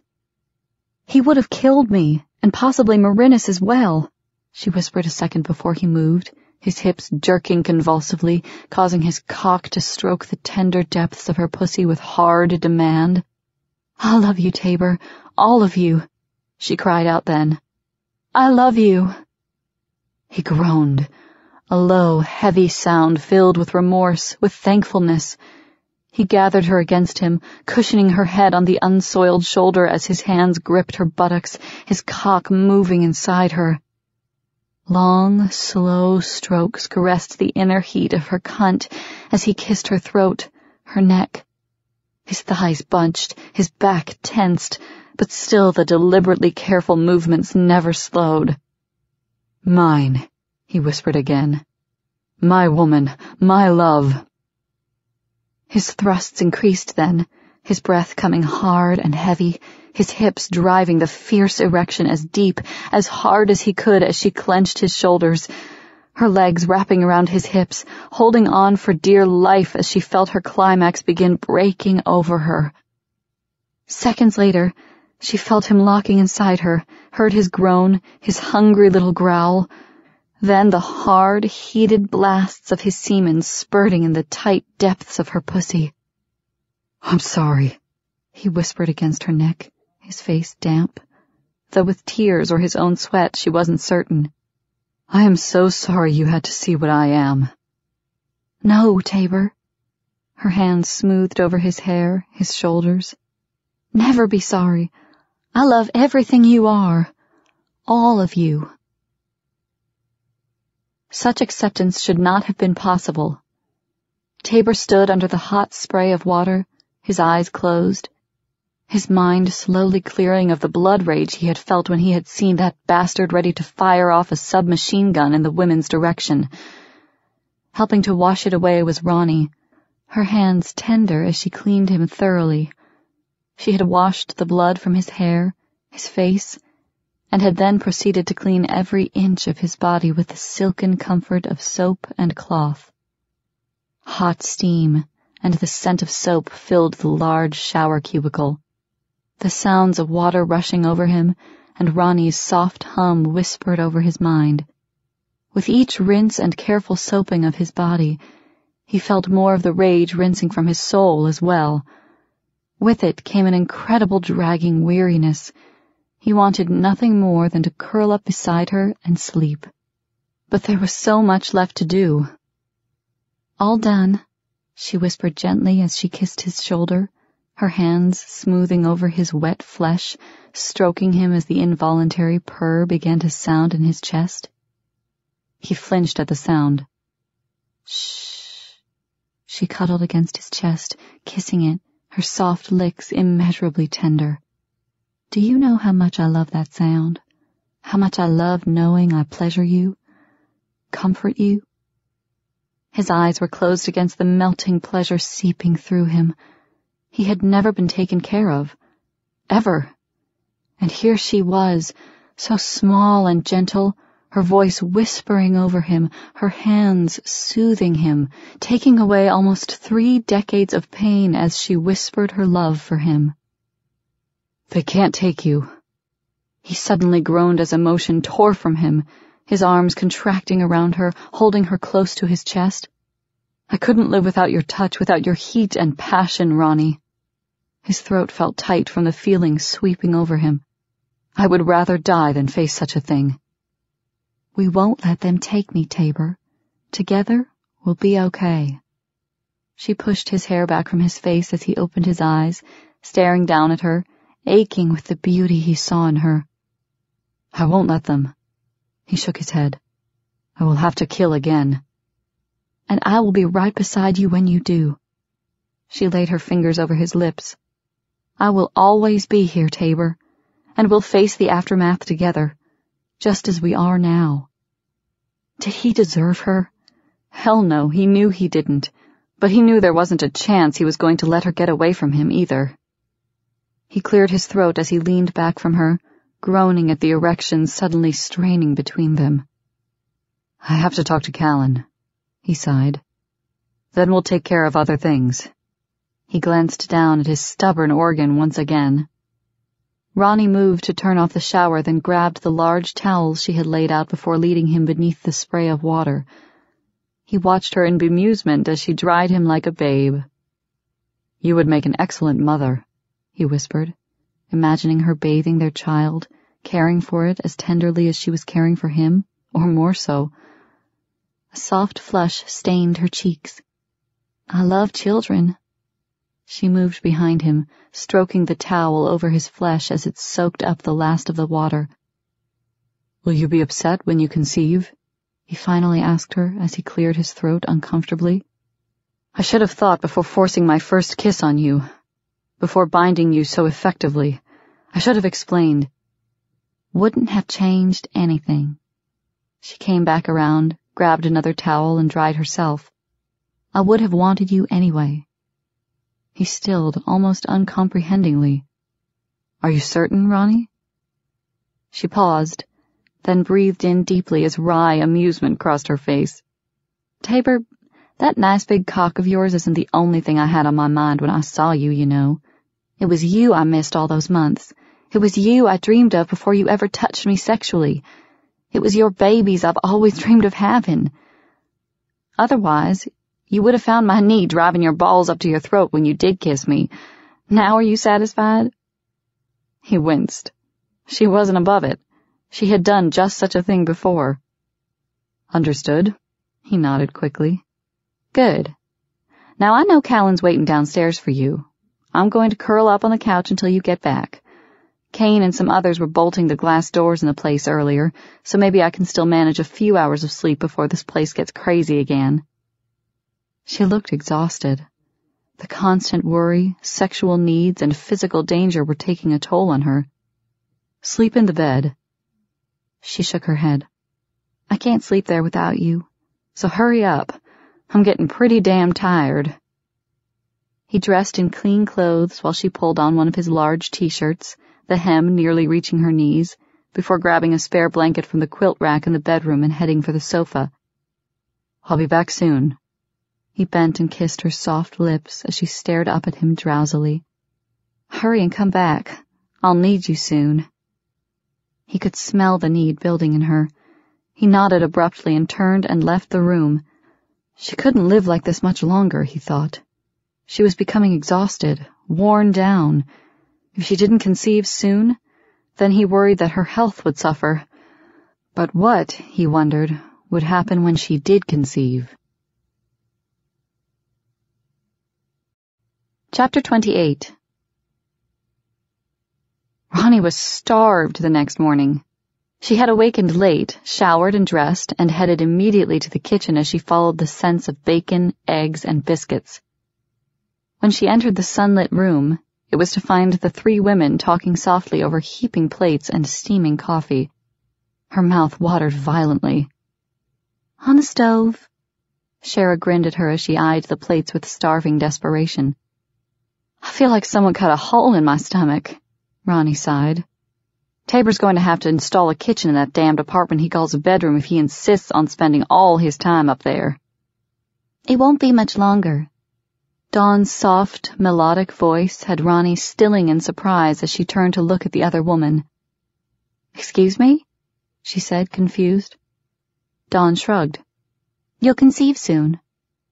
And you know this how? Ronnie asked as she lifted a plate from the center island and moved to the stove. Because I can smell it. Dawn. Sherra spoke up warningly.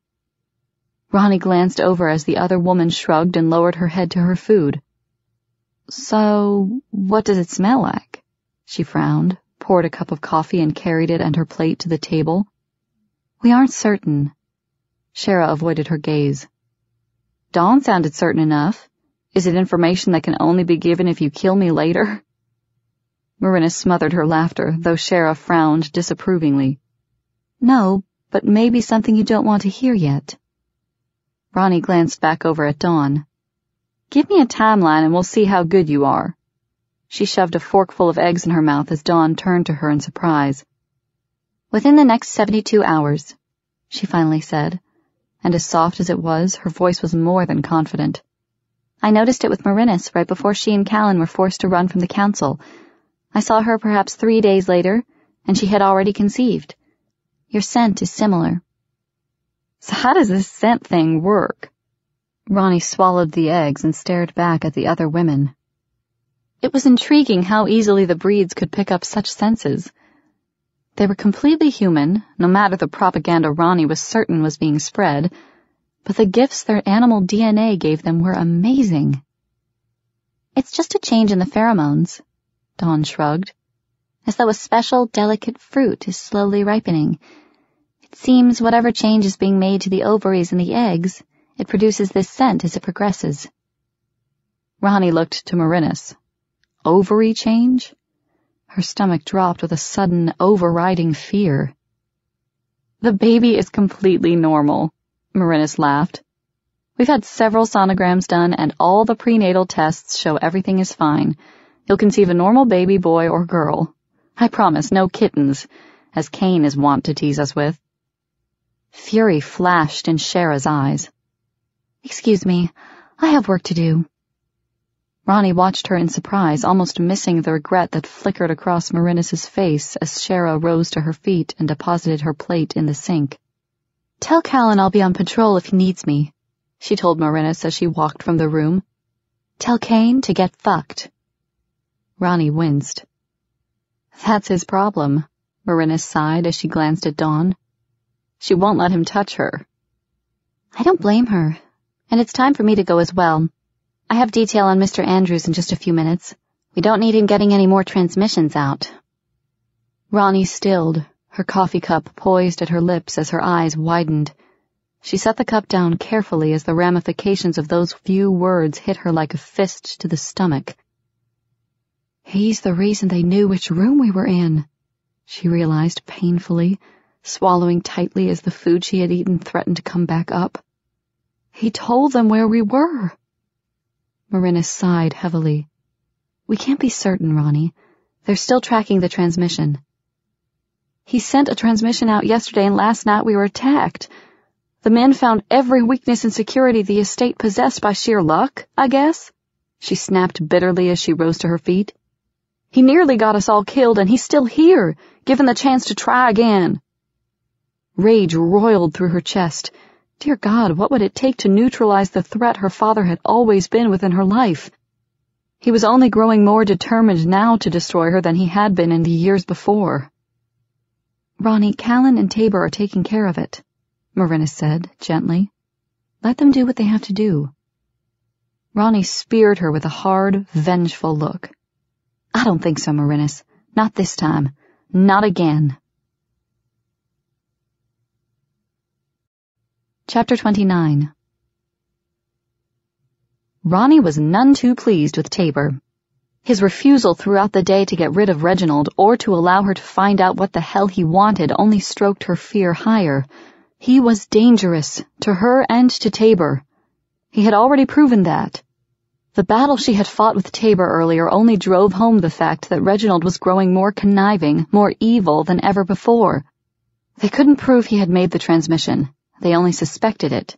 To effectively put a stop to any threat he represented, they had to be certain, just as they needed to know for certain who he was working with. The men who had attacked last night were no more than hired guns. Sometimes they worked for the council, sometimes they worked for other sources. There was more than one source popping up in the world that had decided the breeds didn't deserve life. Reginald, if involved, was only one of many. He was her father. He was the man her mother had loved, her sweet, gentle mother. Ronnie laid her head against the cool glass of the balcony door and fought the pain ripping through her chest. Margie Andrews had been one of the kindest, gentlest souls. Ronnie barely remembered her, but she remembered how her mother sounded, the soft lullabies she sang to her, the whispered promises of a better life, and she remembered her mother crying. It was one of her strongest memories from childhood. Her mother's cries, muffled, pleading as she begged Reginald for mercy. Please, Reggie, please don't hurt me. Ronnie flinched as the words echoed through her mind. It was her last memory of her mother. The last words she had heard Margie speak. The next morning her mother left for work. An hour later, she was dead. Weak bitch. Reginald had muttered at the funeral. She didn't fight enough. Ronnie had never been certain what he meant by those words, but as she grew older, they had stayed with her. Had he been behind her mother's accident? Or had it been another of his muttered ramblings in regards to her mother's frail health? She had been alone then, and she felt alone now. She stared into the darkness, fighting the old fears, the old wounds. She could feel the brink she stood on, and it terrified her the knowledge slowly building inside her. Her mother had loved Reggie with a single, driving, obsessive emotion that had terrified the young Ronnie. It hadn't made sense to her how easily her mother would bow to his demands. She'd push aside her own wants and needs in deference to him. Even more than that, she pushed aside her daughters. How many nights had dinner been a meal of cornbread and the meager amount of potatoes her mother had grown in the backyard because Reggie had taken all the money for himself? Or the times she had watched him slap her, scream at her because they had eaten the last of the groceries in the cupboard, leaving him to fend for himself. Her fists clenched. She had sworn she would never need a man so desperately, had sworn she would never let herself be used, broken because she loved. And here she was unable to break away from the man who had that very power. It didn't matter then that Tabor had always held her with tenderness, had always given her heat and security rather than his fists.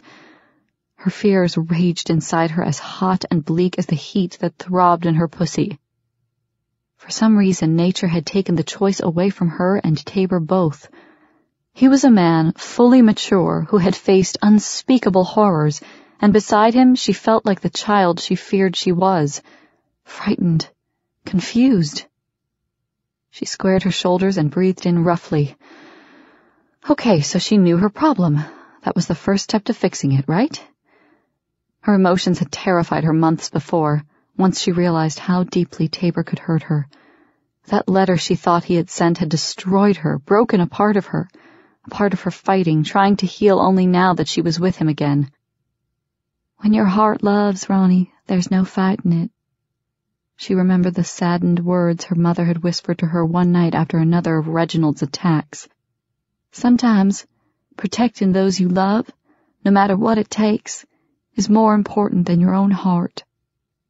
And Ronnie knew now that she had to find a way to protect Taber. He didn't know how vicious, how cruel Reginald could be. He couldn't, or else he would have never allowed him to stay. Taber knew loyalty, a need for freedom. He could never believe her father would do anything it took to achieve his own aims, even destroy his daughter. And Ronnie knew her destruction would bring Reginald a wealth of satisfaction. Finally, he had a weapon against her, and soon, she knew, he would use it. Ronnie. Taber's voice, as dark as midnight, wrapped around her senses as he stepped into the room. Immediately the pulsing arousal that flowed through her body intensified. She turned from the window, pulling the gun from her waistband and laying it out on a nearby table as she approached him. She reached for the hem of her shirt and stripped it quickly over her head. He was hers. Damn him. Damn Reginald and her fears. She tossed the shirt to the floor and towed off her sneakers. Son of a bitch. His hands went to his jeans. Take me, she challenged him as she pushed her own jeans from her hips and stepped out of them quickly. I dare you. There was a fever rising in her body. She didn't want the bed. She didn't want gentle, mindless sex. She wanted to still the volcanic sparks of heat flaring inside her as she tore aside his control. She wanted to soothe him, enrage him, stroke and flail at him. His eyes narrowed on her. She loved it when he did that. The jade green color sparkled dangerously, giving him a primal, predatory appearance.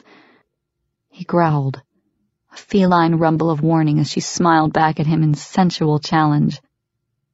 I could, he told her softly, watching as she moved around him, keeping her within sight at all times. I could take you down and mount you in a second, Ronnie. She trembled at the dark warning, her pussy spilled more of its slick juices along her swollen lips as her womb rippled in anticipation. She watched him breathe in deeply and knew he could smell the incredible heat filling her body.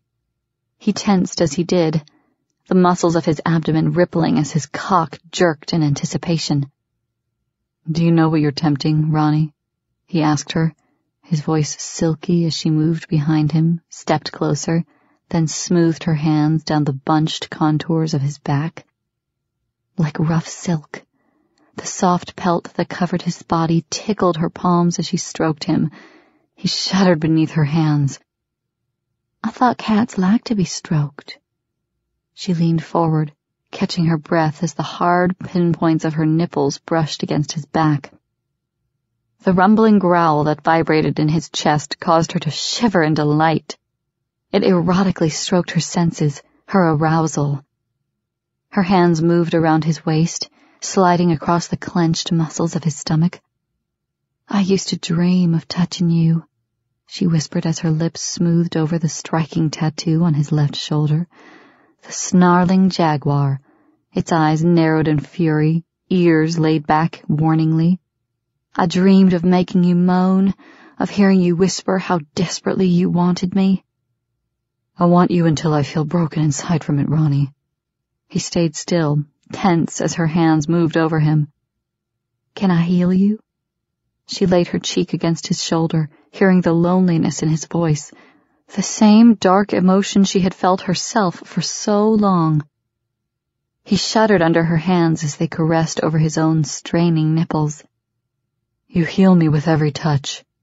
His arms were bunched, his body vibrating with the tight leash he had on his lust. Ronnie smiled slowly.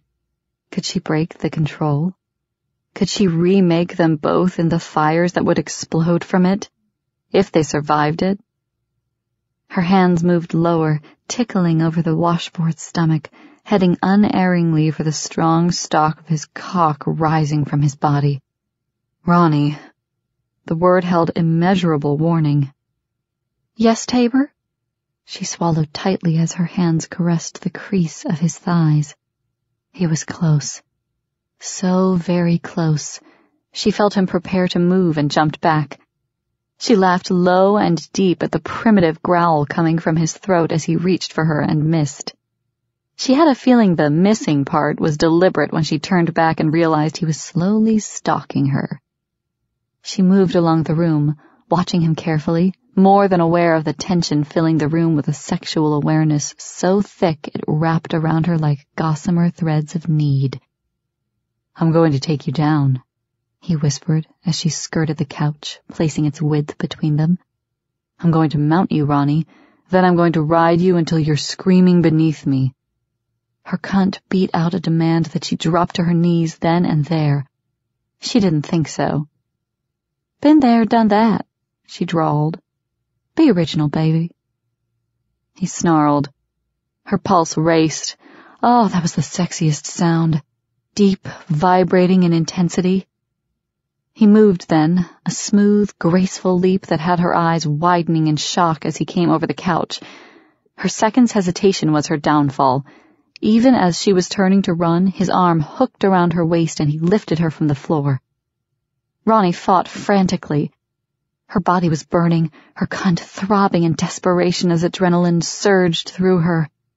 She bucked in his arms as he laughed, her low scream of frustration and furious lust echoing around the room as he took her to the floor. There were no preliminaries. There was no need for them. The slick cream of her need dampened her thighs, flowing thick and hot from her pussy. His cock surged into the syrupy thickness filling her vagina as she arched back, screaming out at the pleasure. Been here, baby? He pounded inside her ruthlessly, his hands holding her hips relentlessly as his cock thrust hard and deep in the tight depths. Done this? The depths he reached had her shrieking in part pain, part pleasure, her cunt gripping him, the muscles clenching spasmodically as he fucked her with a hard, driving rhythm. It wasn't like the first time, and only now did she realize the control he had exerted even then, a control he had lost this time. She pushed back into each driving thrust, crying out for him, her pussy clenching on the thick intruder, driving her insane with the need for orgasm. Talk to me, baby. His hand lifted from her hip a second before he delivered a firm, sharp slap to the rounded curve of her buttock. Tell me if we've been here, Ronnie. Shock singed her then. Oh, hell, that felt too good. She whimpered with it, bucking against him, jerking against his hold. She fought him, gasping at the pleasure of his tight grip as he restrained her, the sharp sting of his hand on her ass as he punished her. Done this? She dared him, then threw her head back in an agony of pleasure as his hand landed on her ass again. Done this? His hand moved again, sliding along the curves, his fingers caressing, driving her insane as they dipped between her thighs, sliding through the juices collecting on the lips of her sex. Keep talking, baby, he growled as he circled her clit. Let's see if this old cat can't teach you a few new tricks. His fingers rubbed, caressed, delicately milked her clit to the powerful thrusts driving into her pussy. She couldn't breathe. Ronnie fought for oxygen as the almost violent intensity of sensations ripped through her. Too many, too fast. She could feel her pussy tightening, her womb convulsing. When the explosion came, she felt every emotion contained in her soul tearing free. Her orgasm slammed through her as she rose from the floor convulsively, her arms reaching back for him, her scream a strangled plea for mercy. More! There was no mercy. His arm locked around her waist, lifting her, his erection sinking deeper inside her, stroking her from an angle that kept the fiery intensity of her release echoing through her body. She was being driven mad. Even her flesh became a traitor to her desperate need to fight the overwhelming orgasm. The minute the first eased, he threw her into another. His cock was stroking inside her, fucking her with a relentless demand she couldn't deny. She arched against him, her hands falling to the tight muscles of the arm holding her, clenching, fighting for some hold on reality as she was thrown once again into an abyss of ever-deepening sensation. She was screaming. She didn't know what she was screaming, only knew the words were fighting to be free, to be heard. She loved. She needed. And then she felt him. From the position they were in, she felt the first change. His cock tightened, jerked. Then it seemed as though the flared head thickened. Another, smaller erection bloomed beneath it, locking his cock deep inside her as it caressed an ultra-sensitive bundle of nerves hidden there. Press. Stroke. In that second she was hurled into a kaleidoscope world of clashing colors, heartbeats, surging blood, and an animal's roar. And a knowledge she knew would change them both forever. Chapter 30 Ronnie would have preferred to clear her mind, to drift within the safety of the world Tabor was trying to build around her. At least she had thought that was what she preferred, until hours later, after the demands of their bodies had been met and sanity began to return. It was then she knew it was time to face her own life. She was only 22 to Tabor's 30, but even more than the eight years difference in their ages, there was a whole world of experience as well. He had lived with fear, unspeakable cruelty, and death, even before he had become a man. He had known the evil that filled the minds of the council, the men who created him, who trained him. He had been decades older than she, even when he was a teenager. Ronnie knew her own experiences in growing up didn't even come close to the pain he had known. She was a baby in comparison. But she was also his mate. She wanted to be more. She wanted to be strong enough to stand by his side, strong enough to fight with him, she couldn't do that if she allowed either of them to hide from the truth. She would let him protect her to an extent, but after that, she needed to stand beside him to ease the man who fought for supremacy over his DNA. The man who needed to love, to find at least a safe haven for his soul. He hadn't told her he loved her, but she would deal with that later. One step at a time, she thought, one growth at a time. She would get there eventually, but first things first. Cats have barbs, Ronnie said lazily, her fingers playing gently through the long, silken strands of his hair. He had been purring. It amazed her. He had tried to stop, had even laughed at himself earlier because he couldn't, though she had seen the worry in his eyes that it would disgust her. Quite the opposite. She now knew how to tell if her lover was pleased, happy, content. Destroying that contentment for even a moment was something she hated to do but it was something they needed to clear up. He tensed in her arms. His head still lay against her chest, but rather than the sated relaxation that had filled him, a watchful tension now moved over his body. The soft vibration in his chest had stopped, though her fingers had never ceased the slow caress through his hair. Yeah, they do. His hold tightened only marginally. People think because I'm young, I'm completely dumb. She laughed softly at this. Even before you marked me, you always handled me with kid gloves, never doing or saying anything you thought would upset me. Letting me face life isn't going to break me. It was never because I thought you were dumb, Ronnie. He sighed as he moved from her arms, sitting up so he could stare down at her thoughtfully. I wanted to protect you. That's all I've ever wanted. And she realized how true that was. She had known it when she had been only a child, and she saw it now. A part of him had to protect her, otherwise he would never be content, never be secure. I don't want to be protected from everything, Tabor. She turned on her side, moving into the embrace he created by opening his arms and pulling her close. Her head lay against his chest now as he breathed out roughly. She could feel the protest building in him, and knew he would always try to protect not just her body, but her emotions as well. She didn't want to be protected from growth.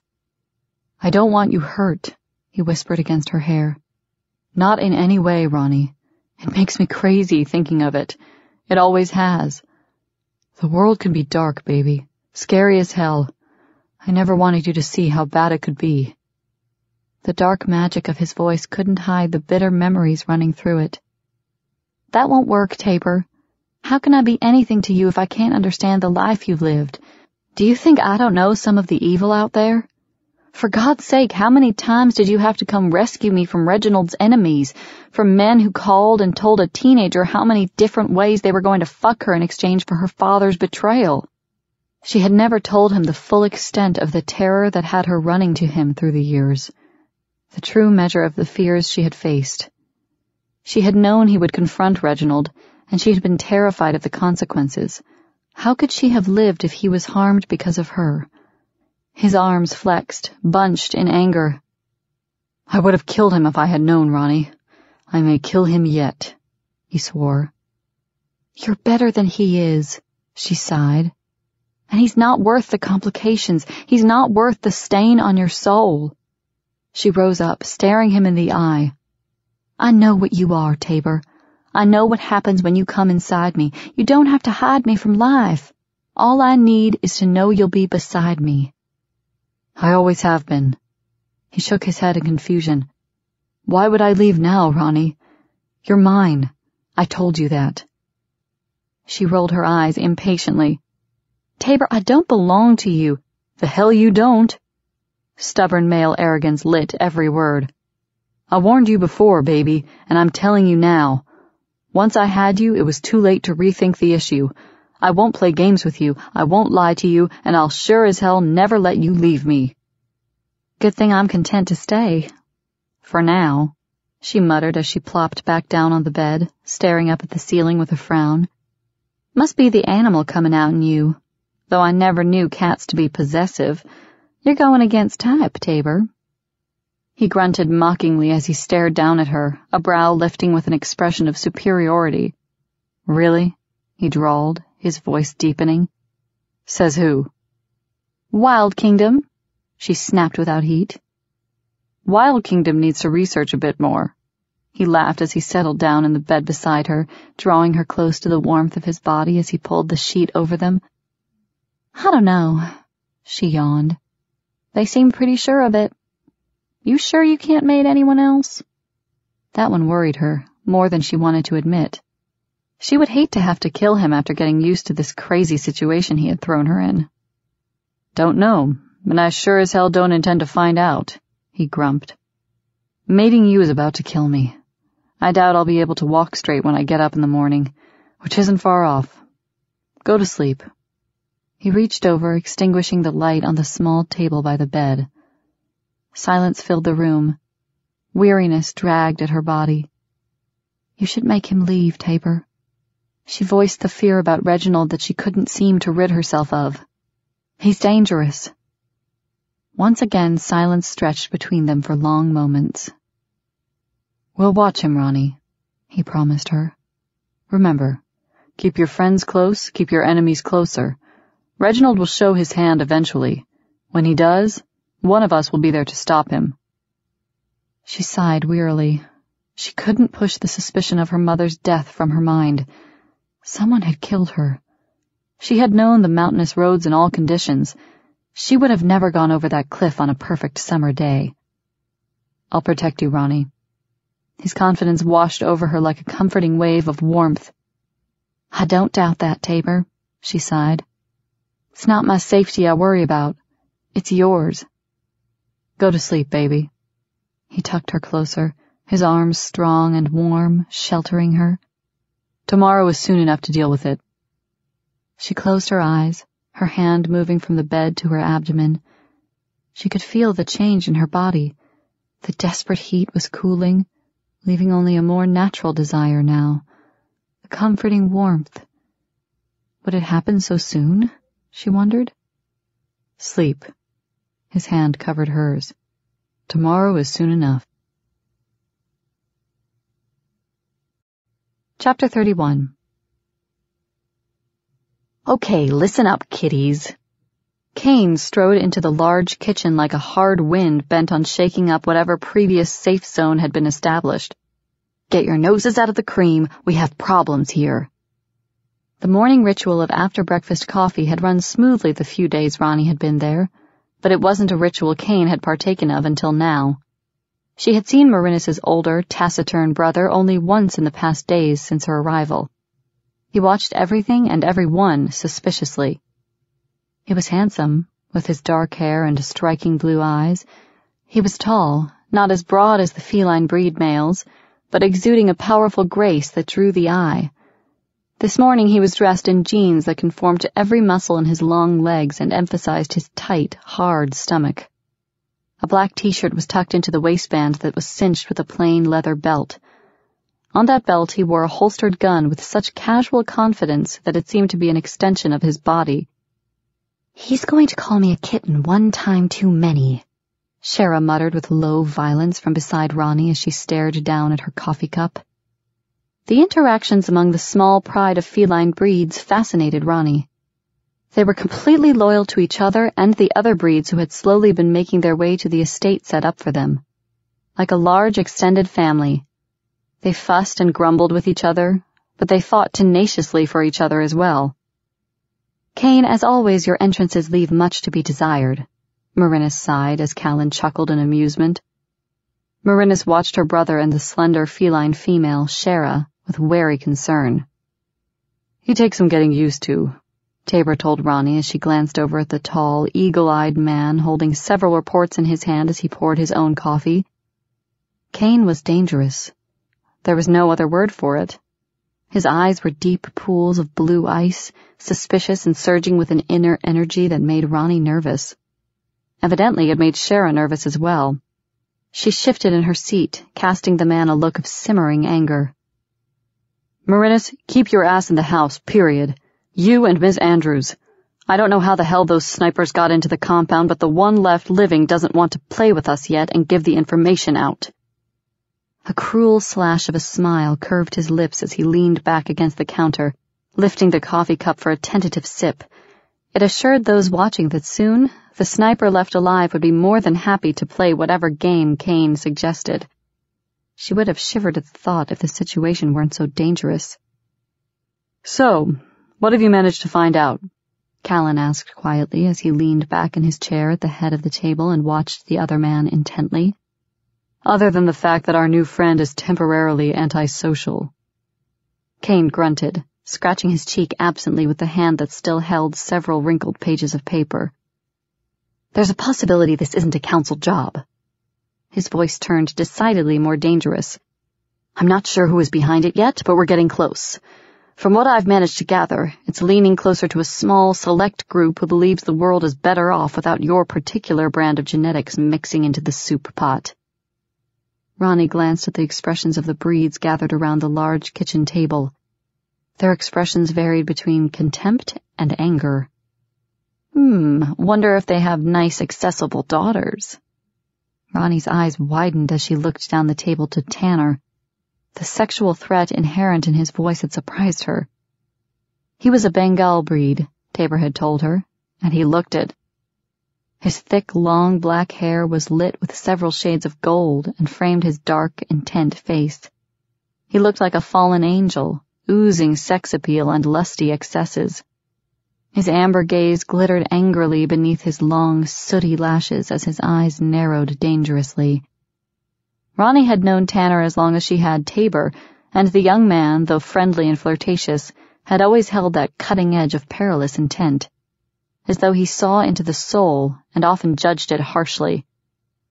Tanner, Callan grumbled a hard-edged warning. Come on, Cal, I can mix the soup up for them right good, the younger man snorted. I won't hurt anyone. We don't have time for cat fights, Kane snapped. He was rewarded by more than one growl and several animalistic snarls in response. The grin that crossed his lips was amused and easy, despite the threats that lay thick and unvoiced in the sound. Get to the point, Kane, Callan told him softly, but the very silkiness of his warning told Ronnie much more. The older feline breed was growing tired of the little digs Merinus's brother was directing their way. The sniping didn't make sense. The easy familiarity she had seen him display with the breeds on other occasions had suggested he both respected and cared for the members of Callan's pride. Yet his actions now hinted at a deeper tension. Point is, Kane set his coffee down and glanced down at the papers he held. Several radical members of previous race groups have decided to band together they call themselves liberators. Their main agenda is the death of any and all genetically altered humans. They don't have a lot of money backing them, but they have firepower and several ex-military members. Looks like it's hunting season, boys and girls. And guess who's the catch of the day? Silence reigned for long, tension-filled moments. We expected this. Despite his words, Callan's voice was weary, saddened. How close are we to finishing the security measures? Close, Kane shrugged. But no system is perfect, Callan. We have a lot of ground to cover and our perimeters are being tested from every angle. They're quiet for the most part, not tipping their hands, but they're watching, and rumor has it they're attempting to put a spy in place. Ronnie stiffened, her fists clenching in her lap as she fought to deny her own suspicions now. So catch him, Sherra snapped as she glanced over at Kane. What are you here for, anyway? You socialize in the house more than you actually get any work done. At least I'm willing to be sociable. His smile was tight, hard. Unlike some of us in this house, I can actually manage to remain civil for more than five minutes at a time. Oh, really? she drawled sarcastically. Funny, I hadn't noticed amid all the little snipes and half-veiled insults. Forgive me, Kane. I'm certain you're doing your best. His eyes narrowed. The scene playing out before Ronnie's fascinated gaze was better than any soap opera ever invented. Keep pushing me, Sherra, and you might not like the consequences. Undercurrents of emotion thickened between the two of them. I don't like you, period. She rose to her feet, glancing at Callan. When you have real answers, Cal, let me know. All he has is his damned conspiracy theories, and I've grown tired of them. She swept out of the room, her head held high, a mane of long, incredibly thick blonde hair swaying past her shoulders and catching the light as she passed through the doorway. One of these days, Kane muttered. Leave her alone, Kane. Merinus's voice was flat and hard now. You're pushing too hard. Her brother shot her a surprised look. I'll push harder before it's over with, he snapped. And you can watch it, or you can tell me what the hell the deal is. Your choice, Mary. Either way, I'll get the answers I want. Enough already, Callan ordered, his frustration level evidently reaching its breaking point as he stood to his feet and faced the other man. Deal with your personal life off my time, Kane. Then he turned to the youngest of the breed males. Tanner, get into town tonight. See what you can find out from those sources you have in place. I want to know who and what is involved in all this. I'd start asking our new visitor first. The rough, grumbling voice that entered the fray came from the kitchen doorway. Ronnie recognized the breed from the night before. Merc, she thought they had called him. He stared at them with placid, deep brown eyes, but nothing could hide the aura of death surrounding him. Meaning? Callan asked him softly. Meaning I caught him trying to sneak around the weapons shed earlier. When I put a stop to that, one of the men assigned to watch him caught him trying to break into the communications offices. That boy has the Grim Reaper sitting on his shoulder, Callan, and I'm of a mind to set that dark visage free. Chapter 32 I want you to make Reginald leave now. Ronnie turned to face Tabor as they entered the sheltered garden area outside the kitchen. It was the only outside area Tabor and the others would allow the women to go to when the house became too stifling. It was a large courtyard, but stretching overhead from wall to wall were thick wooden beams holding a multitude of sheltering vines. Even in the full heat of the day, it was a cool escape from the tension slowly filling the house. She moved deeper into the small grotto, brushing against the thick, sheltering shrubs and low-growing trees that had been placed around a central fountain. A variety of flowering bushes filled the air with the heady scent of their blooms. The fountain splashed playfully, infusing the area with moisture, lending to it an air of sensuality and relaxation. An atmosphere she fought desperately as she tried to convince Tabor to have her father escorted from the estate. She laid her palm against her abdomen, trying to still the nerves that roiled within her stomach. The severe heat that had afflicted her over the past days was steadily easing. She was pregnant, and she was terrified. More frightened than she had ever been in her life.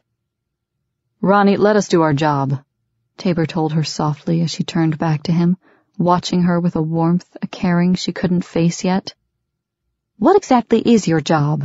she asked him bitterly. Standing around waiting on someone to kill you? Waiting for Reginald to do whatever he came here to do? My job is to contain any threat to this estate. His voice was pitched low, but she heard the rough grumble that echoed in his chest. Do you think I can't protect you? Ronnie rolled her eyes in frustration. It has nothing to do with my faith in you and everything to do with what I know Reginald is capable of. Her hand sliced through the air between them as she went nose to nose with him. She could feel the fear building in her, feel the sick, awful sensation in the pit of her stomach that warned her that Reginald was scheming at his worst. It had been in his gaze, in the calculating demand as he was pulled from the house the night before. He was neck deep in trouble and determined to pull her into it as well. You forget. I know him just as well as you do, Ronnie, he reminded her carefully. I know what he's capable of. She hated that restrained sound to his voice, as though he was choosing each word, each move with her, as though he only gave her the parts of himself that he wanted her to see. Why give him the chance, Tabor? She wanted to scream at him, but she kept her voice to a careful hiss as she paced farther along the courtyard. Why? The risk is too great. What can he do? Tabor asked her logically. She hated logic. She hated his logic. So cool and confident. We need to know who hired him and what he wants. If we run him off, we may not know until it's too late to contain the threat. We can't risk that, Ronnie. You're risking your life instead. She shook her head, pushing her trembling hands into the pockets of her jeans as she sat down on one of the wide stone benches at the farthest edge of the courtyard. My life is at risk every day, baby. He sighed roughly as he sat down beside her, pulling her into his arms. You think I don't know what you're fighting so hard? That I don't know you're carrying my child, Ronnie? that I couldn't sense the change in your body as it happened? She stiffened in his arms. You can't be certain of that. Merinus went out of heat when she conceived. The desperate need isn't driving you insane now, Ronnie. It's easing. He nuzzled her neck, his warm breath blowing across her skin with such pleasure she shivered. That doesn't mean anything. She tried to shrug him away, to keep her mind from becoming clouded with need as another, more intense heat began to fill her. Just because Merinus is pregnant doesn't mean I am. The natural desire was something she thought she would never feel again. Something she could have done without. She could have denied the hold Tabor had on her so much easier if he didn't make her crazy to fuck him with just the feel of his breath on her neck. She arched involuntarily to the caress, her breath catching on a sigh of longing. The shaded, grotto-like atmosphere suddenly turned heated, too moist, sensitizing her, sucking her into the earthy lust that always shook her at the mere sight of him. He chuckled. The sound was low, heated, as he lifted her against him, turning her until she sat draped across his lap. Let me up. She struggled against him, but knew her heart wasn't in being released.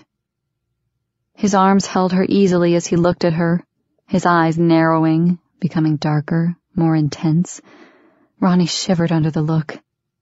I still want to fuck you crazy, right here, Ronnie, he whispered wickedly as his hand slid up her thigh, beneath her soft cotton shirt, then curled around the curve of her breast.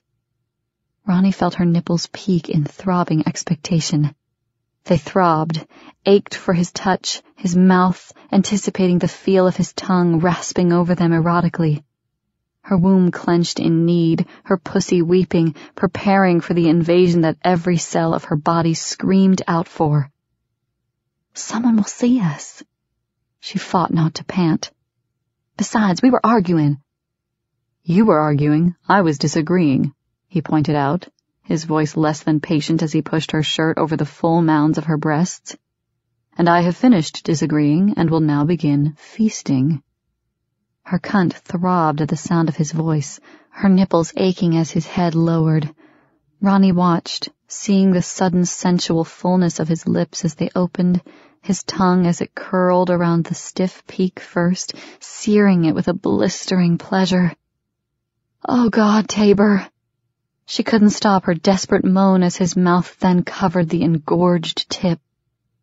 His tongue swirled with wet heat around the sensitized bud, his mouth drawing on her, cheeks flexing. Ronnie couldn't help but watch. It was the most sinfully sensual sight she had ever seen his dark face flushed with arousal. For her. It was for her. His attention solely on the pleasure he took from suckling her nipple, the pleasure he gave was nearly orgasmic. His hand held the sensitive flesh, pushing the mound higher, intensifying her sensations as his tongue stroked over the elongated tip. She could feel her juices gathering from within her suddenly clenching vagina, then spilling past the narrow channel, coating the rapidly sensitizing lips of her cunt. Her clit ached, pulsed in time to the rhythmic suckling of his mouth.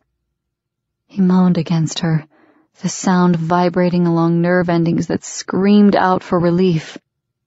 Delicious. He lifted his head her nipple falling from his mouth with a smooth, moist, popping sound. Come here, baby. Let me undress you. I'll show you. Taber, I need you back in here if you have time. Callan's voice called through the courtyard. We'll be waiting for you in the office. The intrusion was like a bucket of ice water sweeping over Ronnie as she stiffened in Taber's arms, her eyes widening in alarm. She couldn't believe she had forgotten about the inhabitants of the house how easily they could step outside and be witness to the erotic love play behind the shelter of the thickened foliage surrounding them. Damn it, he left me the hell alone while you were in heat, he muttered. Now he'll be interrupting me every damned chance he gets. What? She shook her head as she moved quickly from his lap, jerking her shirt back over her breasts. Why? Taber winced as he stood, the ridge of his erection pressing thick and hard against the front of his jeans. I did it to him, he shrugged with an unapologetic grin. We all did. Hell, still do if we get the chance. He gets irritated. There was a shrug to his powerful shoulders, an almost light-hearted grin that tugged at her heart. How often had she seen such a smile on his face? His eyes were almost glowing with humor, his lips tipped into a comfortable smile. Boyish, Amazement washed over Ronnie as she realized what was so different about this smile, this look. She had never seen it on his face before, had never known him to relax enough to allow any playfulness out. I wish he had just kicked you instead of waiting to punish me as well, she sighed roughly. Go on, do whatever you were going to do. I want to sit here for a while. She sat back down on the bench, her knees weak, her heart beating roughly as she stared up at him.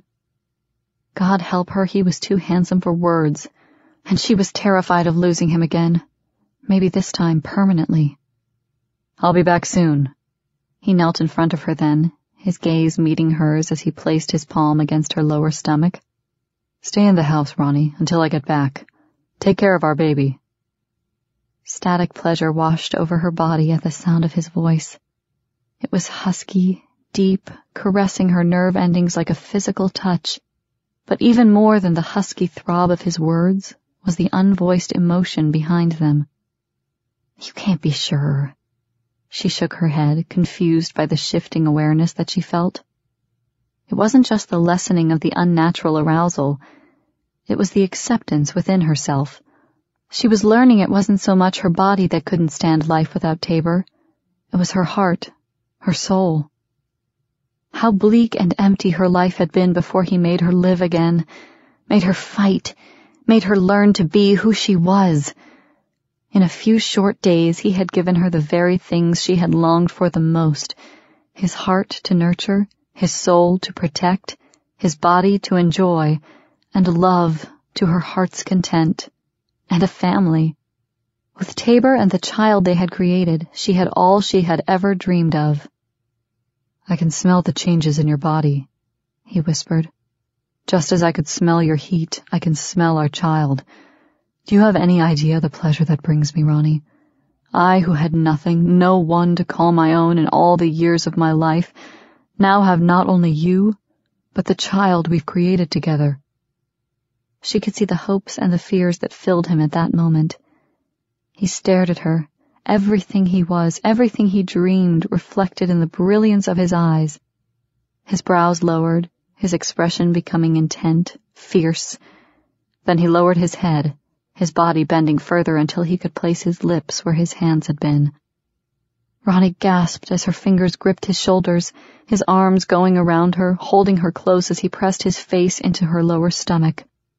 He was so strong and sure in her arms, bending to her, his attention on the child he knew was forming within her. I love you, Ronnie. The words could only barely be heard, but they nearly stopped her heart with emotion. Know that. For years I have longed for you, loved you. You complete me. He didn't give her time to answer him, no time to accept the emotion he whispered against her flesh. He rose quickly to his feet and stalked away from her. No kiss, no touch, no chance for her to reject what he had given her, as though she could ever reject him. Ronnie lowered her head as she fought her tears, fought her own steadily rising emotions. No matter how much she feared the consequences, she loved him, had always loved him. But damn if he wasn't too stubborn for words. Chapter 33 Did you think you could hide from me forever, girlie? Reginald's voice was a serrated intrusion into the peaceful atmosphere of the mansion's living room.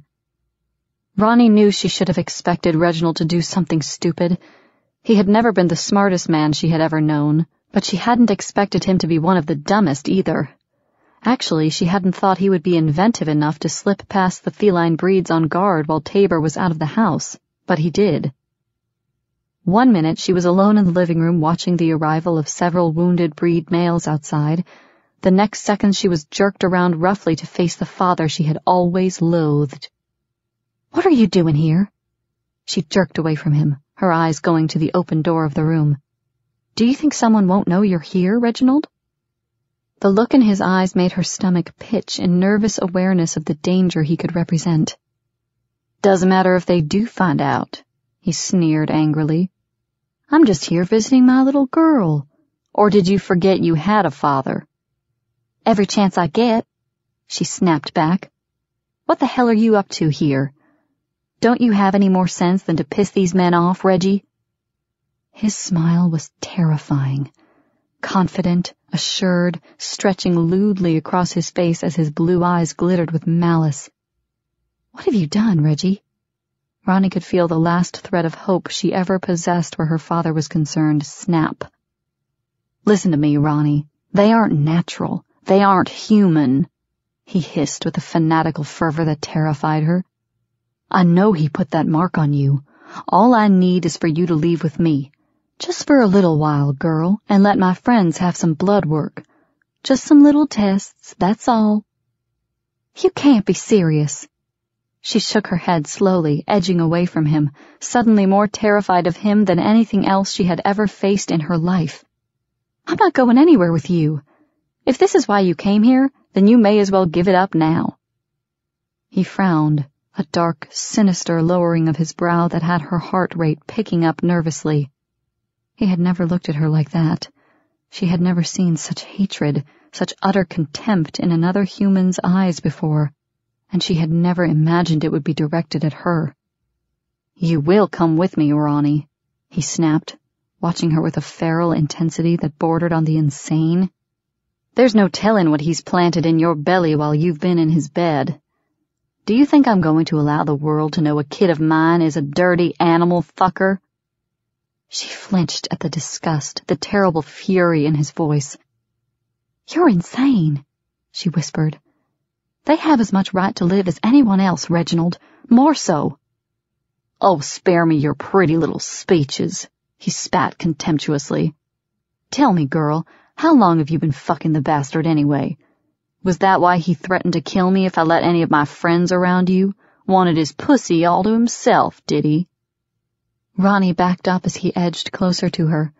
She could feel the hatred, black and vile, pouring from him. I won't answer that she snapped, refusing to allow her fear of him to show.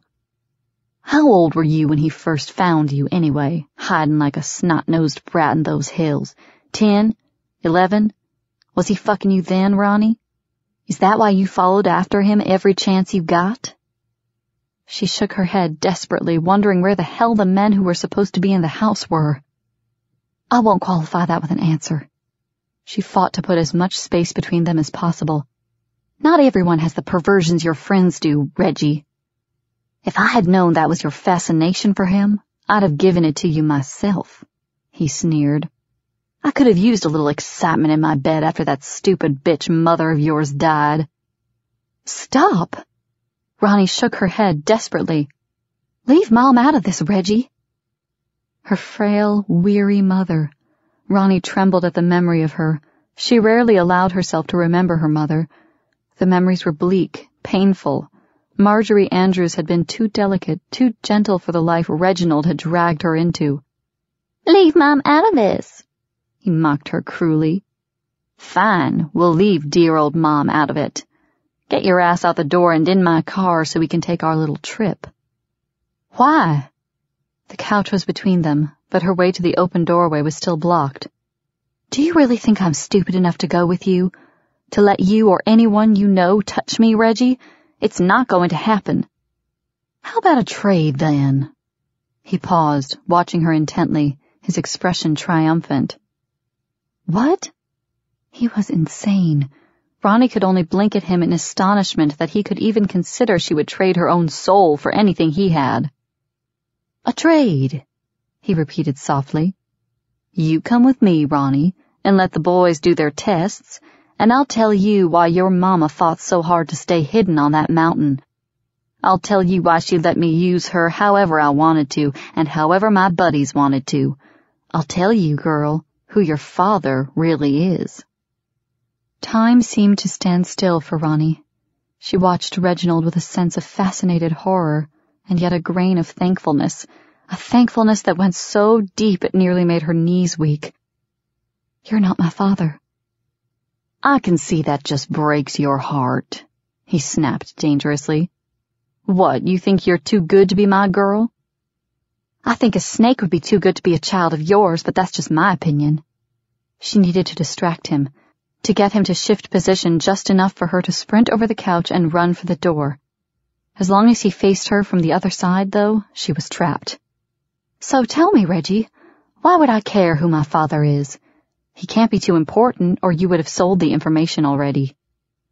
Would I? He cackled. God, he actually cackled like some old crone Weren't crones women? Course you would, Reggie. She kept her voice soothing, hoping to keep him from becoming too insistent on grabbing her. She could see the intent creeping into his expression, his body bunching in preparation. No, I wouldn't tell you this, Ronnie. Not for all the land in Texas, little girl. Not without a reason. 'Cause it would have meant my own life. But I'll tell you now, if you come with me nice and peaceful like.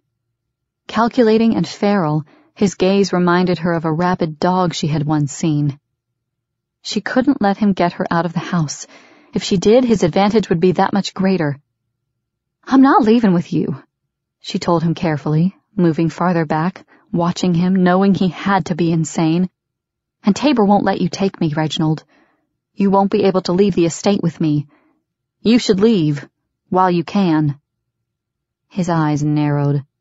Your stinking little cat is too busy to worry about you, little girl, and I won't take no for an answer. He jumped for her then. Ronnie knew she would have only a second to evade him, only the slimmest chance to dart past him and run for the door. When his hand swiped for her hair, she moved. Anytime Reginald became furious with her, he would grab her hair first, hold her in place for whatever punishment he deemed necessary.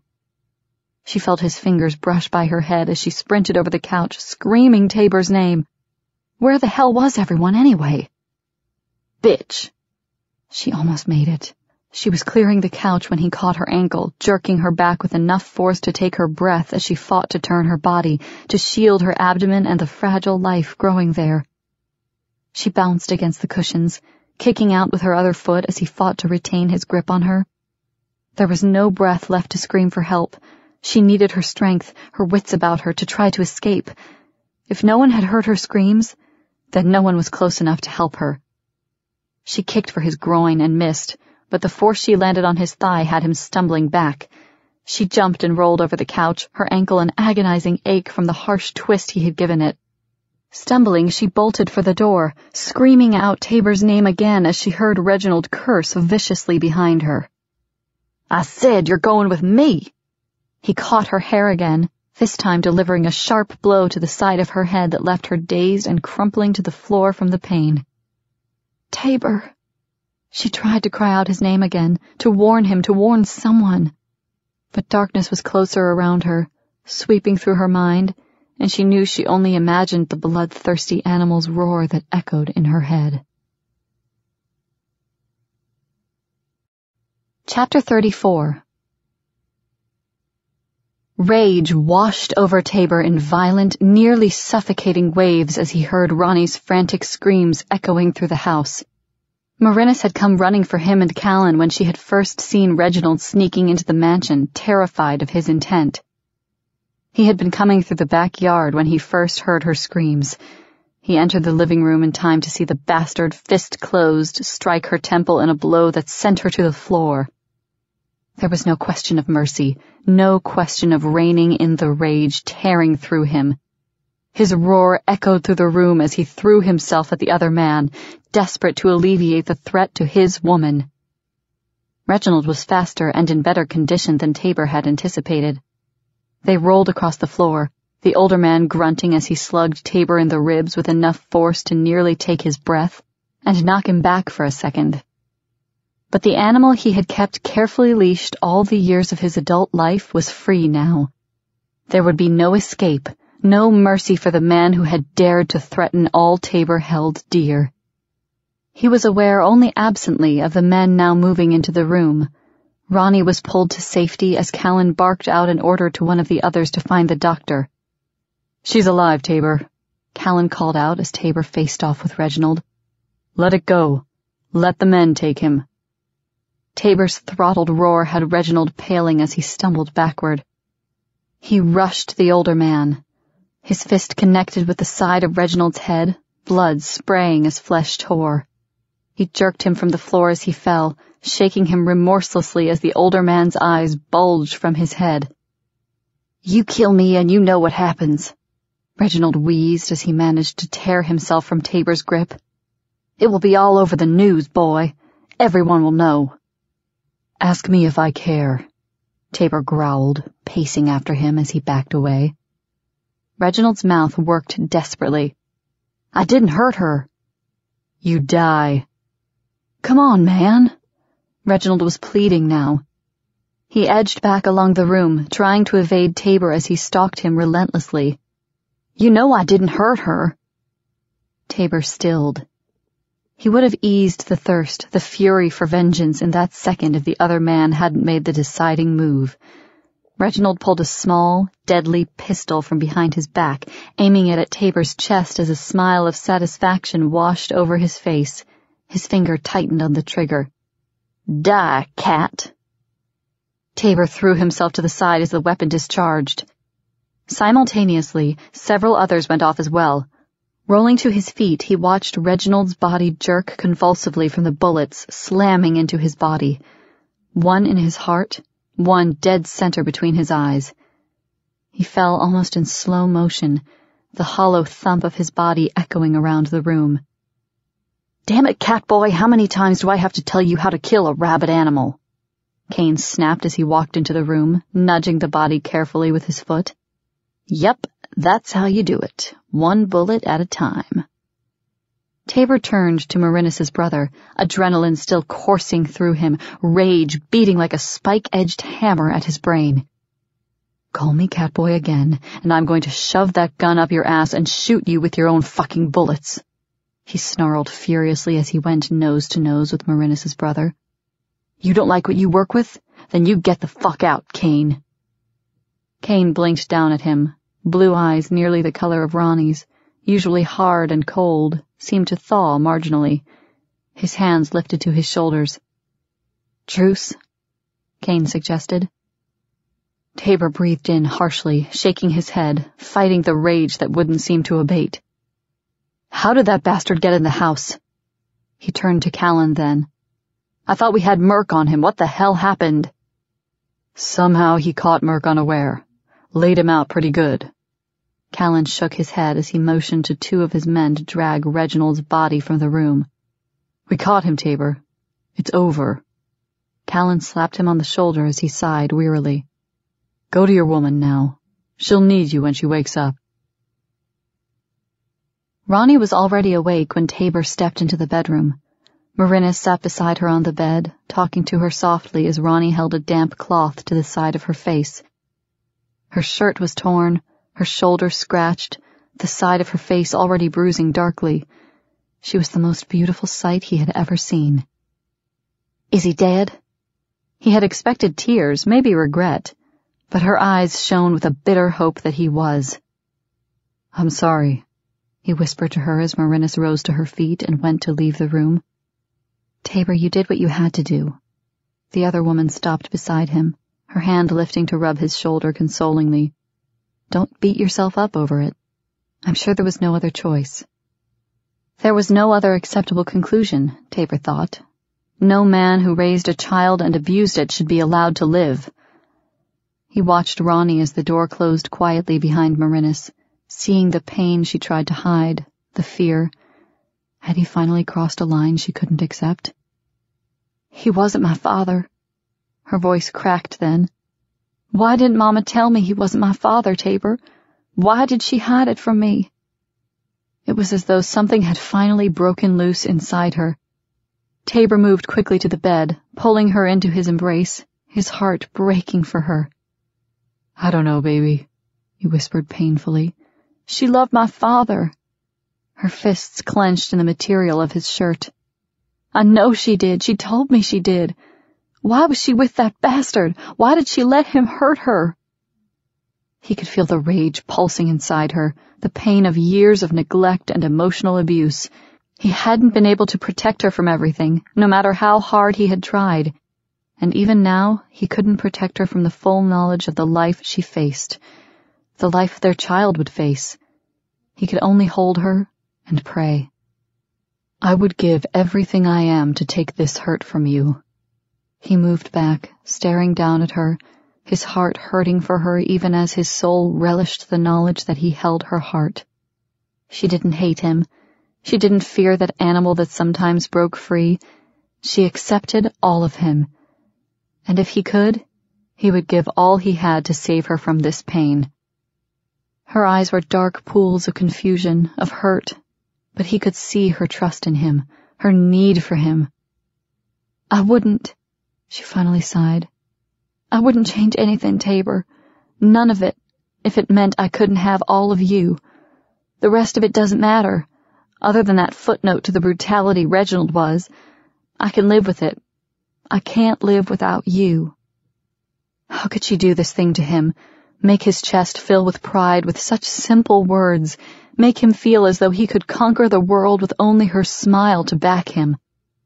You will always have me, he swore, his voice husky, the emotion filling it surprising even him. She filled every part of him. Always, Ronnie. Always. You have me. She touched his cheek. Almost convulsively, his hand rose to hers, gripping it, bringing it to his mouth as he placed a heated, soul-giving kiss into her palm. Then I'm happy, she sighed, a tired, weary little sigh. Hold me, Tabor. Lie beside me and just hold me. Rest with me. He lowered her to the bed, pulling her into his arms, holding her tightly to his chest as her head tucked beneath his chin. She settled against his body as naturally as breathing, comforting, warming. Our child will be loved, she whispered drowsily. Always, Ronnie. Our child will be adored. He knew to the depths of his soul that it would be no other way. She sighed heavily, relaxing against him as the events of the past days finally sapped her remaining strength. He heard her breathing deepen, felt her body go lax, and he allowed the single tear to fall slowly from his eye.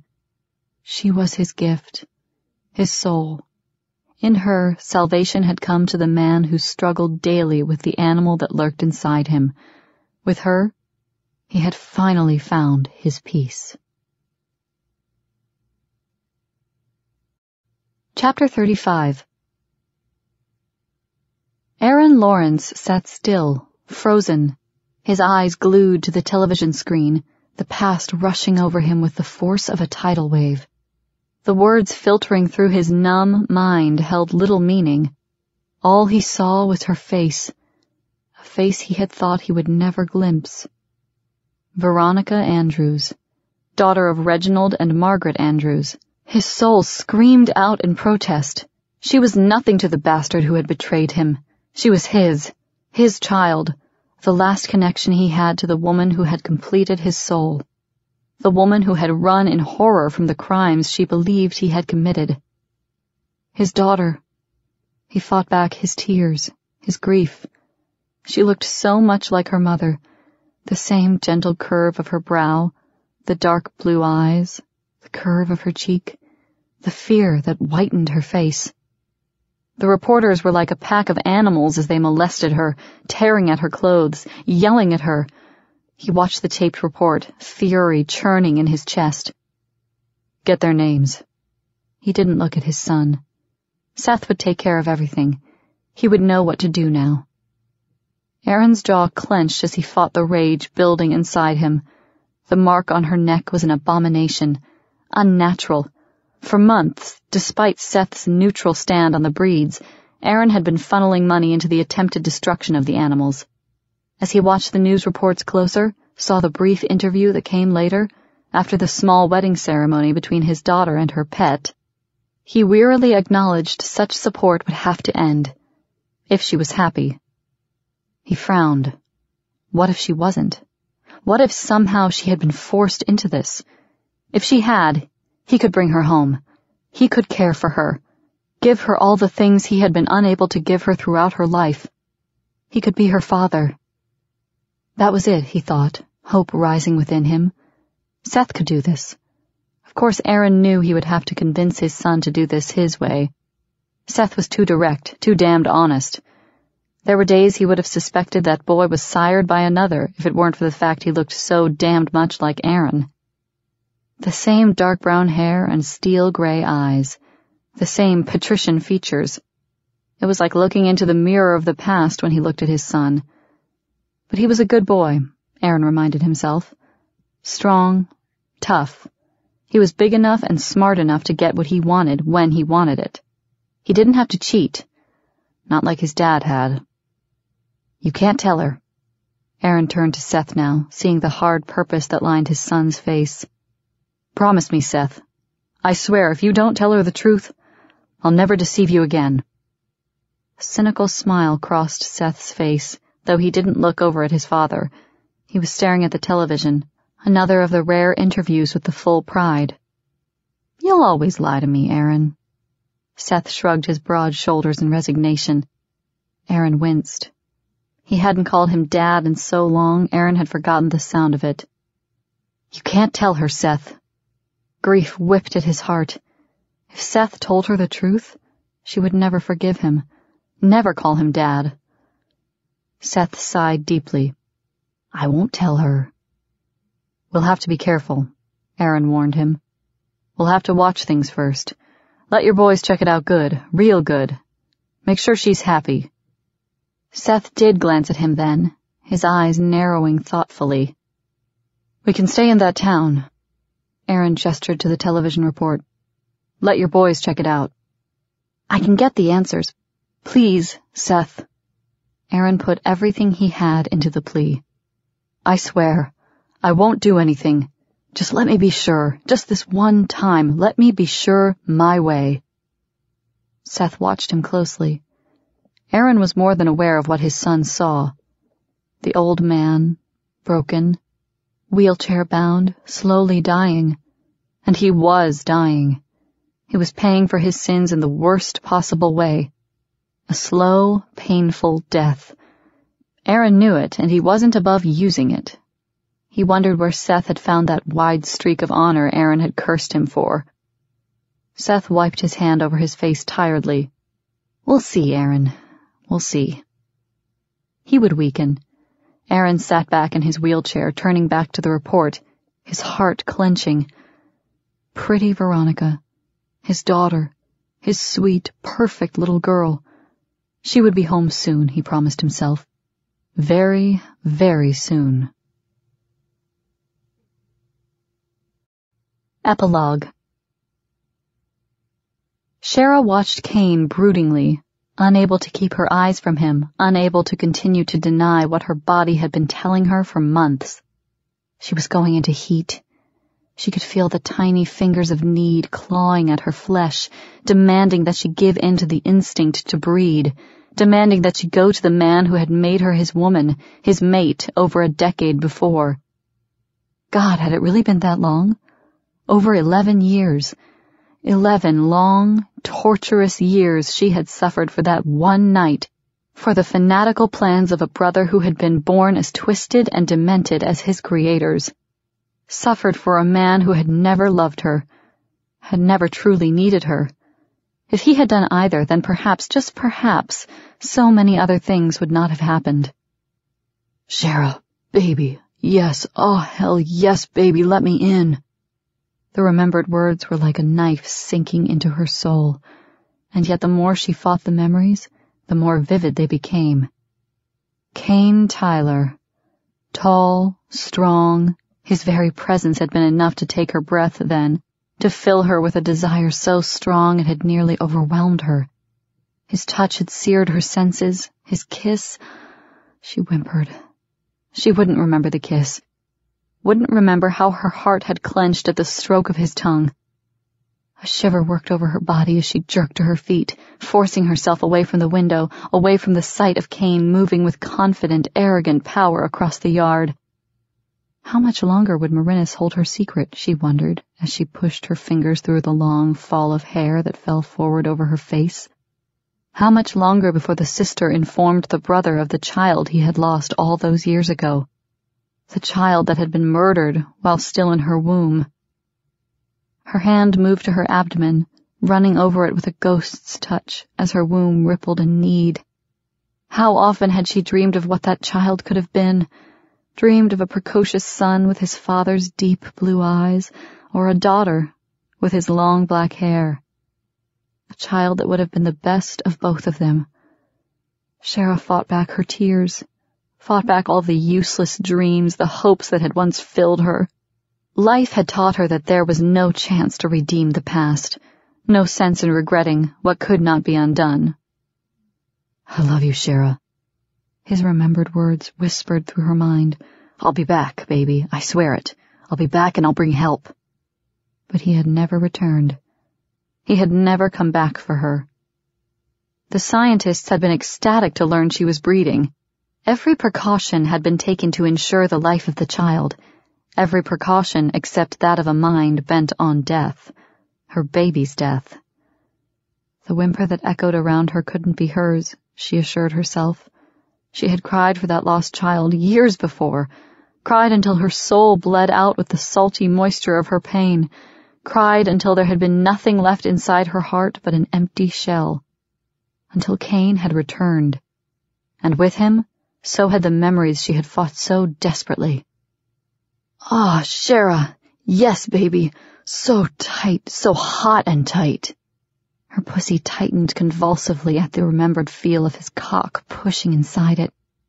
He had watched. She remembered that.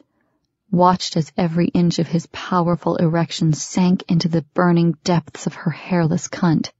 He had been fascinated by that lack of hair, had loved licking the plump lips, feeling her juices slide against his tongue.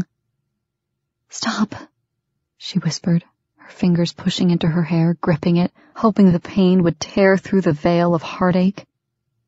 They had had only one night, only eight stolen hours during a time when he was supposed to be training her. He had trained her, but not in the lessons he had been ordered to deliver. He had trained her to his cock instead trained her to his kiss, to the touch of his hands, trained her to love, and then later, to hate. She couldn't seem to rid herself of the hatred. no matter the fact that he had been as powerless as she. Dayan. He had been her brother, her confidant. He had been one of the few people she had trusted. His betrayal had been the worst. He had tried to kill Kane, Merinus had told her. It had been he who had slipped the drug into her food, the drug that forced the unwanted abortion on her already weak body. It had been her brother who had destroyed all that Sherra was. And now, here she was, eleven years later, her body tormented with a lust she couldn't seem to control, her heart breaking with memories she could no longer fight. God, yes, suck my cock, baby. Yes, Sherra, oh, hell, oh, hell. He had tried to pull back, to keep from spilling his seed into her mouth, but she had been desperate for the taste of his essence, desperate to know every facet of the act they were engaged in. She licked her lips at the remembered taste. When are you going to tell him? Merc stood at the doorway of the office, staring back at her with bitter, hollow eyes. He knew, she thought, knew well the pain of losing all that mattered in his life. Who said I was going to? There was no hiding from the fact that he knew she was in heat. Hell, they all knew. Her scent was only undetectable by Kane. Only he was unaware of what her body was going through. You can't hide it from him forever. He's not a fool. He shook his head as he crossed his arms over his powerful chest. It's time to let go of the past, Sherra. She snarled. Fine advice for you to be giving, she snapped. When you're strong enough to accept your own past, Mercury, then you can bitch at me for not accepting mine. It was a low blow. Sherra shook her head as she groaned in misery. Merc, I'm sorry. He sighed wearily. No more than the truth. But you have a chance now, Sherra. Your mate still lives, and he's more than ready to ease the pain beginning to build within you. Why fight it? Don't you deserve more than this? Do any of us? She whispered. I can't, Merc. I can't. She couldn't face losing another child. She couldn't face losing Kane all over again. Too many years, too much anger. He's your man, he said simply. Soon he won't take no for an answer. What will you do then? What will you do when he learns the truth you've hidden from him since he found you?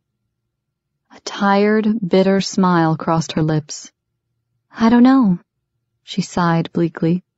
I just don't know. And maybe that's the part that truly, truly terrifies me, Merc. I don't know if I can face his punishment. Merc shook his head slowly. Start counting the days, Sherra. Because soon, very soon, there won't be any more hiding. He'll know, and when he does, he'll show you why he's your man. Maybe then you'll realize the futility in fighting. He turned and left the room, and in that moment she realized how right he was. Soon, she wouldn't be able to hide her needs. They would invade every cell of her body, rendering her helpless and in such heat she'd be screaming for relief. She knew. She knew because it was a cycle. Every year, every long, wasted year she had been apart from him, she had suffered. Suffered until death had seemed the only viable alternative. Suffered until she had cursed him, hated him, and finally, in a last desperate move, had assured herself and nature that no child would ever come of her body. She had tricked Doc into sterilizing her and destroying forever a chance at the child and the man stolen from her. She had done the unthinkable, and now she would suffer more. As always, alone. This book is over, but the story continues. Keep listening after the credits to hear the beginning of Kiss of Heat, Book 3 in the Feline Breeds series, Free. This has been an Audible Inc. production of The Man Within, written by Lora Leigh, narrated by Stella Bloom. Executive producer Susie Bright, producer Mike Charzuk, copyright 2004 by Lora Leigh, production copyright 2013 by Audible Inc. And now, a free preview of Kiss of Heat, Book 3 in the Feline Breeds series. Prologue Sandy Hook. Sherra stood silently in the shadows of the motel, watching carefully. Her eyes narrowed as the nine men parted company and went to their respective rooms. They were furious, but one was coldly dangerous. She had watched them at the airport after dropping Doc off at the safe house, then followed them to Sandy Hook and watched as they checked in. Kane didn't remind her of Merinus in any way. He was darker haired, the color nearly black, with intense, cold blue eyes. His strong jaw and high cheekbones gave a hint to Native American ancestry, his hard, graceful body hinting at extensive military training. She knew the look, the way a killer moved.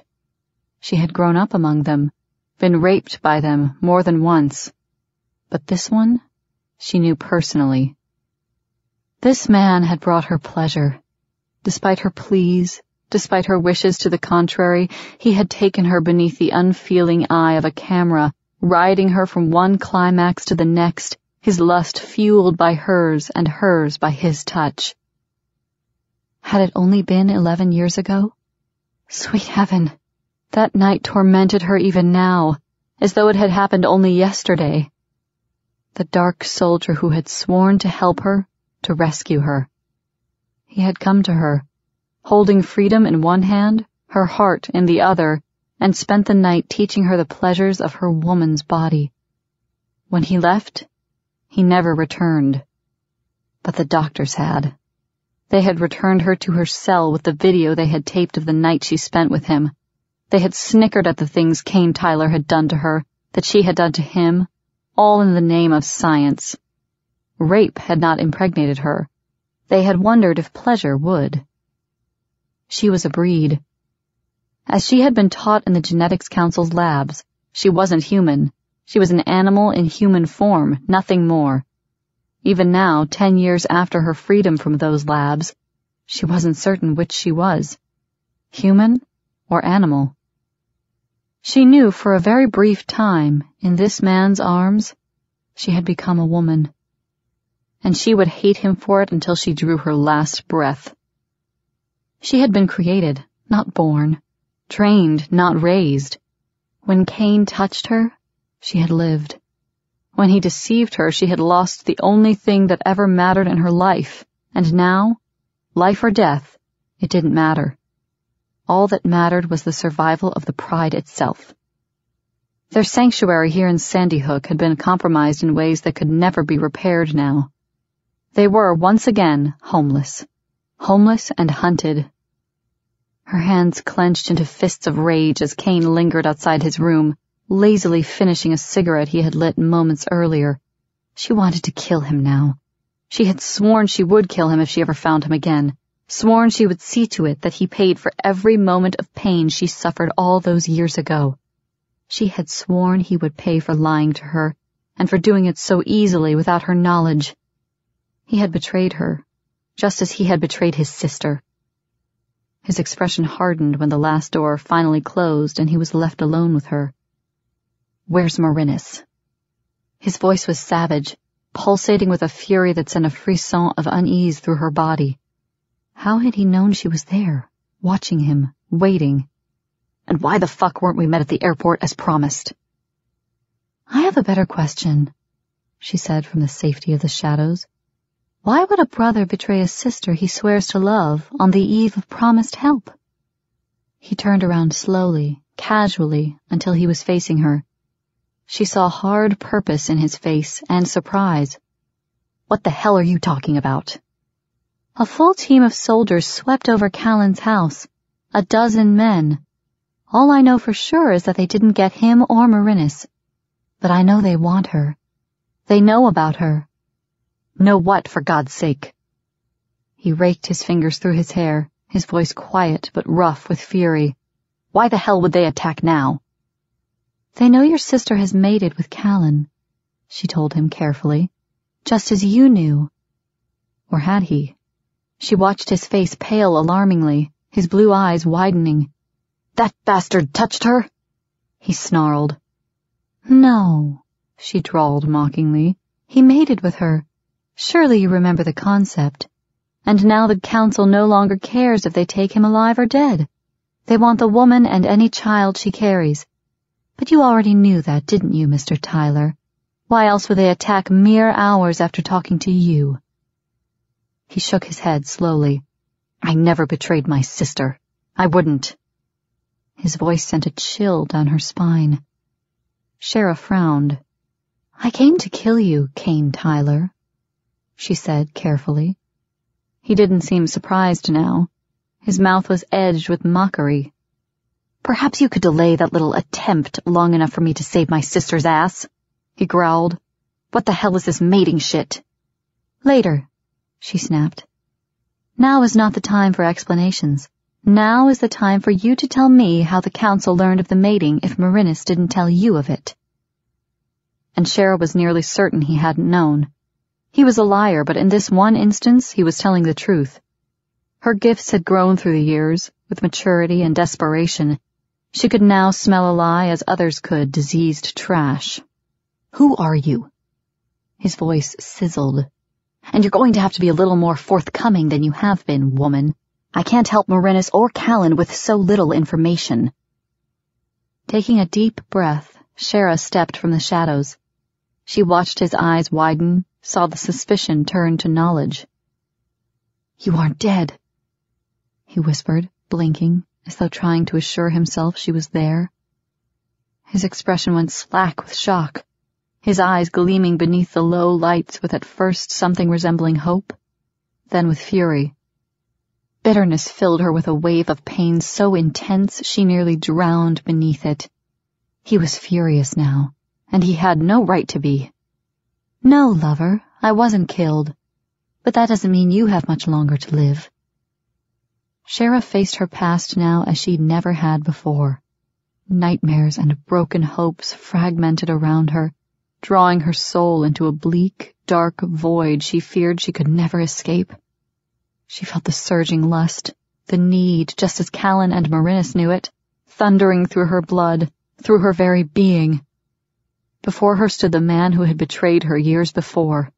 In a bleak, cold lab, his body laboring over her, throwing her into pleasure despite every barrier she put up against it. Her mate. The father of the child she had lost. The one man she had sworn to kill she was alive. Kane stared at her, hiding the tremble in his hands, the need welling inside him like a dark, hungry cloud. How many years had he dreamed of her, needed her, longed for her with every fiber of his being? And now she was here, standing before him, shrouded in darkness, her eyes glittering with hatred. Hatred. He swallowed past the emotion clogging his throat, the regret lancing his chest and the disbelief he couldn't seem to shake. As though the world had shifted on its axis, pitching him into a world that was as different as it was the same the day before. Why didn't you contact me? He could barely force the words past his lips. She was alive, had been all these years. He had suffered through hell, ached until he swore his soul was a raw, open wound, and all this time she had been alive. She sneered, a cold curve to her lips that twisted in his soul as he watched her. Fingers as slender and graceful as life itself reached beside her to pluck a delicate white blossom from the thick bush at her side. They tore at the petals, ripping them casually from their delicate mooring and leaving them to drift in wounded splendor to the ground. Staring at her was tearing his soul to pieces. Realizing she had been alive all this time, free, and she hadn't contacted him, hadn't even bothered to let him know, was destroying the last thread of sanity he thought he had held on to all these years. God damn you!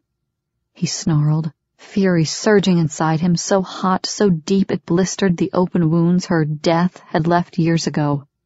All these fucking years and not even a goddamned phone call, Sherra? Nothing? He had to clench his fingers into fists to keep from jerking her to him, to hold back the lust and burning rage filling his mind. He was literally seeing red. The haze at the edge of his vision rippled and burned, turning the soft fall of the hotel lights into a bloody aura. Her gaze flickered over him, cold, unemotional, filled with victorious triumph. And I would have done that, why? She bared her teeth, her hatred crisp, clear, lining the beauty of her expression with remorseless hatred. He fell back a step, feeling the blow to the pit of his soul. He had bled for her, had nearly died for her, for this, her hatred. No reason. His voice was hoarse, and he hated her for that, hated the emotion tearing his heart to pieces as she watched him with the glimmer of amusement in her eyes. No reason at all. Merinus was all that mattered now. His sister and the man who held her. Where's my sister? She's safe. She shrugged again. That's all you need to know. He moved before she could blink. He had known his only edge would be whatever surprise he could gain. He took the advantage fiercely. His hands caught her wrists, twisting them quickly behind her back, holding them in a steel-hard grip as he pushed her roughly against the side of the motel. Wrong he snarled. That is not all I need to know, nor is it all you will tell me. By God, I nearly died for you and your fucking pride once, but I'll be damned if Merinus will be hurt any further. His free hand gripped the long, silken hair, his fingertips transmitting the sensation of cool, perfect pleasure to his brain even as he fought it. Her body pressed against him, still, unyielding as her eyes widened in shock. You're crazy, she snapped. No more games, Kane. You betrayed us all. He wanted to shake her, wanted to howl in misery. You believe what the hell you want to now, Sherra. I really don't give a fuck. But you will tell me what the hell is going on, and you will do it now, or so help me God, I'll make you wish you had. Hunger ambushed him. His cock swelled to painful, immediate erection. His mouth watered for the taste of her. The scent of her body made him sweat, made his balls draw up in lust. Eleven fucking years. Eleven years without her, craving her taste, her touch. For what? For fucking nothing. You will tell me. He pressed his cock into her lower belly, watched her pale, watched the fear that flickered in the shadows of her eyes as his heart twisted in misery. Or I'll show you, lover, the bastard you believe I can be. Only Merinus mattered. For now. Chapter 1 Five months later. Afternoon, Kitty. Kane's deliberate drawl as Sherra entered the kitchen, prepared for the weekly meeting Callan insisted on, had the hair on the back of her neck rising in instant defense. That drawl never indicated a pleasant conversation where Kane was involved. It wasn't as if any conversation she had with him was ever pleasant. He insisted on provoking her at every opportunity, and generally did his level best to see just how angry he could make her. His blue eyes were cool, calculating, watching her with an amused mockery that made her ache to scratch them out. That need was in direct conflict with the overpowering urge to fuck him silly. She was in heat. She hated it, but had no choice except to admit to it. After eleven long years of pain and fear, she now knew why her body turned traitor on her, beginning with an overwhelming arousal and ending with a bleak, almost agonizing pain before slowly diminishing. For one month of each year, she had been going into heat, and she had suffered because her mate had already taken her, had already programmed her body to accept no other touch but his. If he had been a breed, she could have understood it. Merinus and Ronnie had been marked by their mates, their bodies conditioned by the hormonal fluids that eased from the swollen glands just under the men's tongues. But Sherra knew that on the single night she had spent with Kane, her own hormonal glands hadn't been active, and she sure as hell hadn't made the mistake of kissing him since he had barged back into her life, not since learning the signs of the mating heat and knowing beyond a shadow of a doubt that Kane was her mate. He was leaning negligently against the kitchen counter, cup in hand, his tall, leanly muscled body relaxed and tempting. His jeans bulged between his thighs. She swallowed, dragging her gaze away from him. He was hard and ready to fuck. And only God knew just how badly she wanted him to come into her, strong and thick, his cock surging up her wet pussy until she screamed. She almost shivered at the thought as heat rushed over her, through her. Oh, now there's something interesting. His amused voice was pitched low as he obviously caught the betraying color. What's the blush for, kitten? Getting overheated? Turning from him, she pretended nonchalance as she laid the files on the table in preparation for the rest of the pride's arrival. Kane, you're starting to irritate me, she told him coolly without turning back. The cute little remarks are getting on my nerves.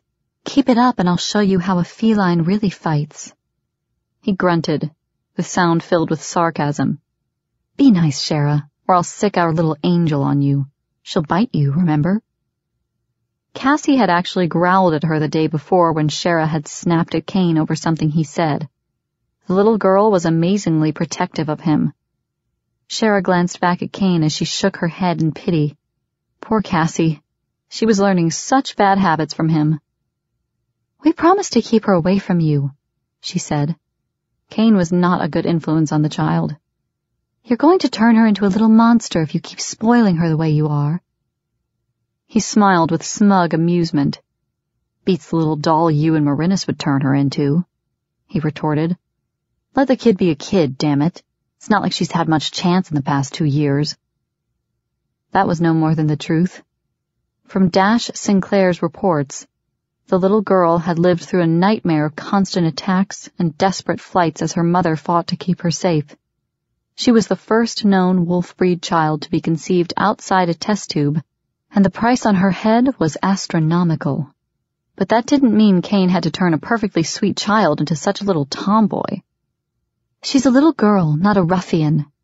Sherra turned on him with a frown. Kane, you had her in a mud fight yesterday. There is no excuse for that this late in the year. He smiled, a slow, deliberate curve of his lips as his blue eyes filled with glee. I know. Damn, that girl has good aim, doesn't she? And it wasn't that cold. It was warm as hell and she was having a good time. That's all that was required. Kane and Cassie had both been covered in mud from head to toe. The minute Sherra had stepped out the door, berating Kane for the mess, a blob of the gooey earth had spattered against the side of her head. The little angel, once known as Cassie Colder, had informed her quite ferociously that she was a wolf and Sherra was a cat, and if she wasn't very nice to Kane, then she was going to get bitten. At the rate she's going, I'm going to have to put you both on a leash, she told him heatedly. Stop encouraging her. She's just a child. In a second, his expression went from smug laughter to intense, dark sexuality. Leash, huh? His voice turned velvet rough, his gaze dropping to her breasts as they rose beneath the cotton t-shirt she wore. She could feel her nipples hardening. Can we include handcuffs? I have some, you know. Heat erupted between her thighs. Damn him and his teasing. He was only stoking the progression of her heat, making it harder for her to fight. And he was going to insist on making it worse. Could the day get any worse? she asked herself sarcastically.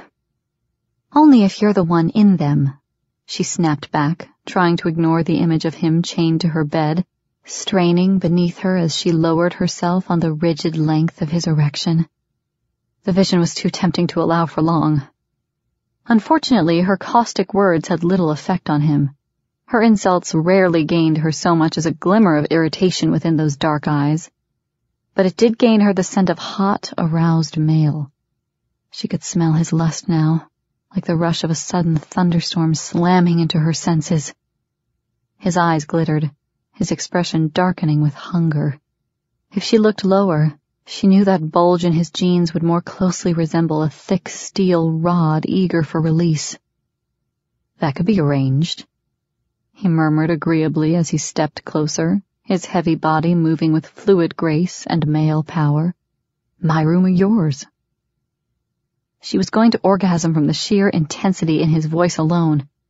Sherra felt her pussy flood with her juices, felt the hard ache of her nipples beneath the cloth of her shirt, and wanted to hiss in fury. Why couldn't life for just one year be kind to her? She wondered in dejection. What had she done to deserve this? Only in your dreams. She managed to drag the derisive words past her lips. He chuckled then. The sound was low, stroking over her already inflamed nerves as he moved closer to her. She wasn't about to retreat. If she did, he would only follow her. If he followed her, he would learn just how desperate she was to keep as much distance as possible between them. You have no idea, baby. Want me to tell you a few of them? He paused before her, his broad chest no more than inches from her breasts. She fought to keep her breathing slow and even, but she was aware of the fact she was failing. And she knew he was. His head lowered as he watched her breasts rise harder before he lifted his lashes, staring back at her suggestively. No. She shook her head, trying to turn from him. She didn't need to hear about his dreams. The temptation of his touch was too great. My favorite one. He ignored her denial as his hand moved, his knuckles running lightly up her arm is the one where I have you stretched over my lap, turning your ass a bright, pretty red for teasing me for so long. You squirming and begging for my cock each time I spank one of those rounded little cheeks. I would be more than happy to reenact it for you, he offered, with all appearances of polite consideration. She should be outraged. Instead, Sherra stared back at him with shock and fought the clench of her buttocks at the thought of his hands descending on them in such a manner. Oh, yeah. She could envision that one as well. Too well. That's quite all right, Kane. She sniffed with as much dignity as she could muster amid the overwhelming hunger rippling inside her. You can just enjoy your little perversions alone. God gave men a hand and five fingers for a reason, you know. Hmm, I know. And I know for a fact just how well I can make those fingers fit my favorite little kitty, too. Come here, purr, baby, let me show you. Dangerous. Warning. His voice was like an addictive narcotic flooding her system despite the edge of fury she could see lingering in his gaze. Cream flooded her cunt.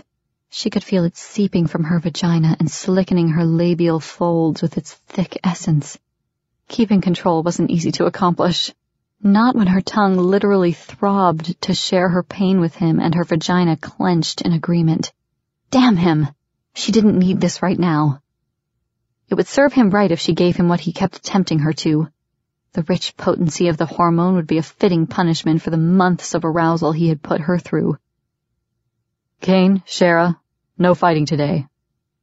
Callan saved her from having to drag a scathing retort from her suddenly vacant mind when he walked into the kitchen, followed by his wife and the rest of the main pride. Let's get down to business and see if we can get something accomplished this time. The last several meetings had been so unproductive as to make a mockery of his determination to ensure the breeds a place in society, not as a separate species, but as human beings deserving of life. That seemed to be the current debate waging among the inner circles of more than one government body. Okay, what do we have? Callan asked as they all sat down. Sherra, did you get those estimates? Everything. She pushed one of the files to her pride brother, Farside does excellent construction work, Callan. I've researched every angle and they look like our best bet. I disagree. Kane did no more than she expected as he took his seat as well. He disagreed with everything she said lately. It would require too many unknowns on the property at once and create a risk we don't need. That makes them more than untrustworthy and makes them a hazard. Sherra gritted her teeth for long seconds before she turned to him with a snarl. Farside Construction is one of the most respected construction firms in the nation. Their buildings have very high ratings for workmanship, they don't hire subcontractors, and they make certain the work is of excellent quality from start to finish. Saying they are untrustworthy could be considered libelous, Kane. Sherra snapped. He was once again being difficult. For some reason he thought it his job in life to make living an even greater hell for her than it already was. Adrenaline pumped through her veins, making her insides tremble, her womb flex in need. Anger always made it worse. Made the heat spread through her body like a conflagration she had no hope of controlling. Settle down, Sherra. He said he didn't trust them.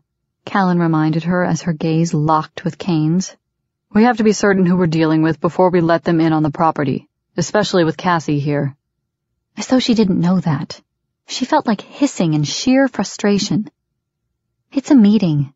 she argued, turning to Callan. I've busted my ass to get these files together and come up with the best choices for the work that needs to be completed. If he keeps shooting them down, we'll be building the damned houses ourselves. Which makes more sense, purr baby, Kane sniped, his ever-present knowing smirk tilting his lips. We have enough hands here, and it's not like they weren't trained at damn near everything. What's the point in wasting money as well as manpower when we would be out no more than materials to do it ourselves? Irritation was beginning to thicken Kane's voice, as though he was growing tired of the ever-present battle between them. Which was too bad. He started it. His sniping and mocking comments continually battered away at her, and she was growing sick of it. Because it takes away from the defense of the compound itself, she snapped back. Bullshit. He was frowning now, his dark blue eyes blazing. You forgot who head of security is here, kitten. Me. I know exactly what it takes to defend this compound, and it doesn't nearly take 200 breeds at any given time to do so. Let your people do the work. It will build a sense of responsibility as well as pride in the home they've taken. You seem to forget the fact that most of these men and women you're talking about need a chance to rest and recuperate, not work their asses off all day. She planted her hands on the table, snarling back at him as she thought of the dull-eyed men and women who had been rescued from various labs over the past months. You can't coddle them like this, Sherra. He was nearly in her face now as the others watched in interest. You're not going to help them by babying them as though everything was going to be just hunky-dory from now on. It's not. What they face isn't going to be a hell of a lot safer than those damned labs they were in if they're not careful. You can't let them think it will be. Sherra could feel the blood suddenly pumping through her veins, her loins heating, her breasts tingling in response to the confrontation between them now. A sharp kick of arousal tightened her womb, nearly taking her breath as adrenaline surged through her bloodstream. There was nothing so arousing as a fight with this man. She normally avoided it at all costs, but today... Frustration was like a rabid animal eating at her self-control. She was sick of his sniping, sick of biting her tongue and keeping her mouth shut rather than pushing them both into something she feared she would regret. I'll be damned if I'll use them like slave labor as you suggest, Sherra sneered back at him. This isn't the Middle Ages, and you aren't some petty dictator being allowed to take over. Kane sat back in his chair, his eyes narrowing in anger as he watched her. She could feel his intent gaze, like a caress over her face, assessing her response seeing too much. He did that a lot, watching her like a damned bug under a microscope whenever they were in the same room together. So pay them a wage, he finally drawled mockingly. No one suggested they do it for free. You're still going to come out ahead without the added danger that allowing others into the compound will bring. Enough, Sherra. Callan overrode the furious words getting ready to spew from her lips. She wanted to tear into Kane with a desperation that had her fingers curling into claws against the table. You both have a good argument, but we have to come to a decision tonight. Good luck. Kane grunted sarcastically as he watched her. Kitten here seems more determined to see us all dead at the moment than to have houses built. Sherra felt a bead of sweat forming on her brow as he smirked at her. His eyes were dark, intent, watching her closely. She could feel him pushing her, knew he was, and was helpless against the urge to fight back. She had to fight back, had to show him she wasn't weak, she wasn't timid. On the heels of that thought came the knowledge that her heat was what was actually pushing her. Instinct, to prove to him she was strong enough to take him, strong enough to fight by his side and challenge his strength, and the need to do so was becoming stronger. Daily she could feel her own aggression surging in her body and it terrified her. He's irrational, Callan, she fought to sit back and relax as she glanced at the head of the table where Callan watched them both with a frown. The man is so damned paranoid you'll be out there pounding nails instead of making decisions for the pride soon. Give it a break, Sherra. Kane's voice was filled with impatience. I need Callan to look after Merinus. You can't seem to keep her out of trouble. Sherra turned back to him, incredulous at the accusation. Suddenly she had gone from coddling the exhausted breeds to being unable to protect Merinus. Me? She snarled, gripping the table in fury. I wasn't the one who took her out on the motorcycle the other day. That was you. All I did was help her clean the stupid closet out. She almost fell on her head, damn it. I told you to keep that woman out of closed spaces. She's a hazard in them. Didn't you pay attention? I am not your sister's keeper, she yelled. How am I supposed to make sense of the crazy things she wants to do? She's your damned sister. She was on her feet now, her finger pointing across the table in accusation as she faced him. She was sick of playing babysitter to an eight-year-old who knew more than she should, as well as a woman who didn't seem to know how to move her feet in a closet. Well, hell, excuse me. I thought you two should have enough in common to at least be able to walk and talk at the same damn time together. He drawled mockingly. You should take lessons from her, Sherra. Being a heat the way you are, you should have the sense to at least pay attention when she messes up. You might want to learn from it. She felt the blood drain from her face. Reality became limited to the dark, knowing depths of his eyes and the challenge sparkling there. You're insane. She tried to find the fury of moments before, but could barely manage to breathe past the shock instead. He laughed, though the sound was mocking, filled with anger as he came to his feet and faced her with a tight smile. Am I? he said. Or do you think you can hide something else from me? Sorry, baby, I'm not nearly as stupid as you seem to think I am. And you want to know what else I'm aware of? He leaned closer, his hands flattening on the table as he came almost nose to nose with her. Her senses were filled with the scent of him, the smell of hot, furious male wrapped around her, nearly strangling her with hunger. What do you think you know? She tried to snarl back, but her voice was weak, wary. Now she understood the warning glimmer of anger that had burned in his eyes when she first entered the kitchen. Kane was flat pissed and that was not a good thing. What I know, he said with brutal clarity, is that you're in heat, Sherra, and I know who your mate is. I know because it's me. He straightened then, staring back at her, seeming angrier at the knowledge than anything else. Just like I know about the baby, the sterilization, and your fucking stubbornness for the last few months. I know it all, and I'll be damned if you'll get away with any of it for even one day longer. We hope you enjoyed this free preview of Kiss of Heat, Book 3 in the Feline Breed series. To keep the story going, get the complete book today.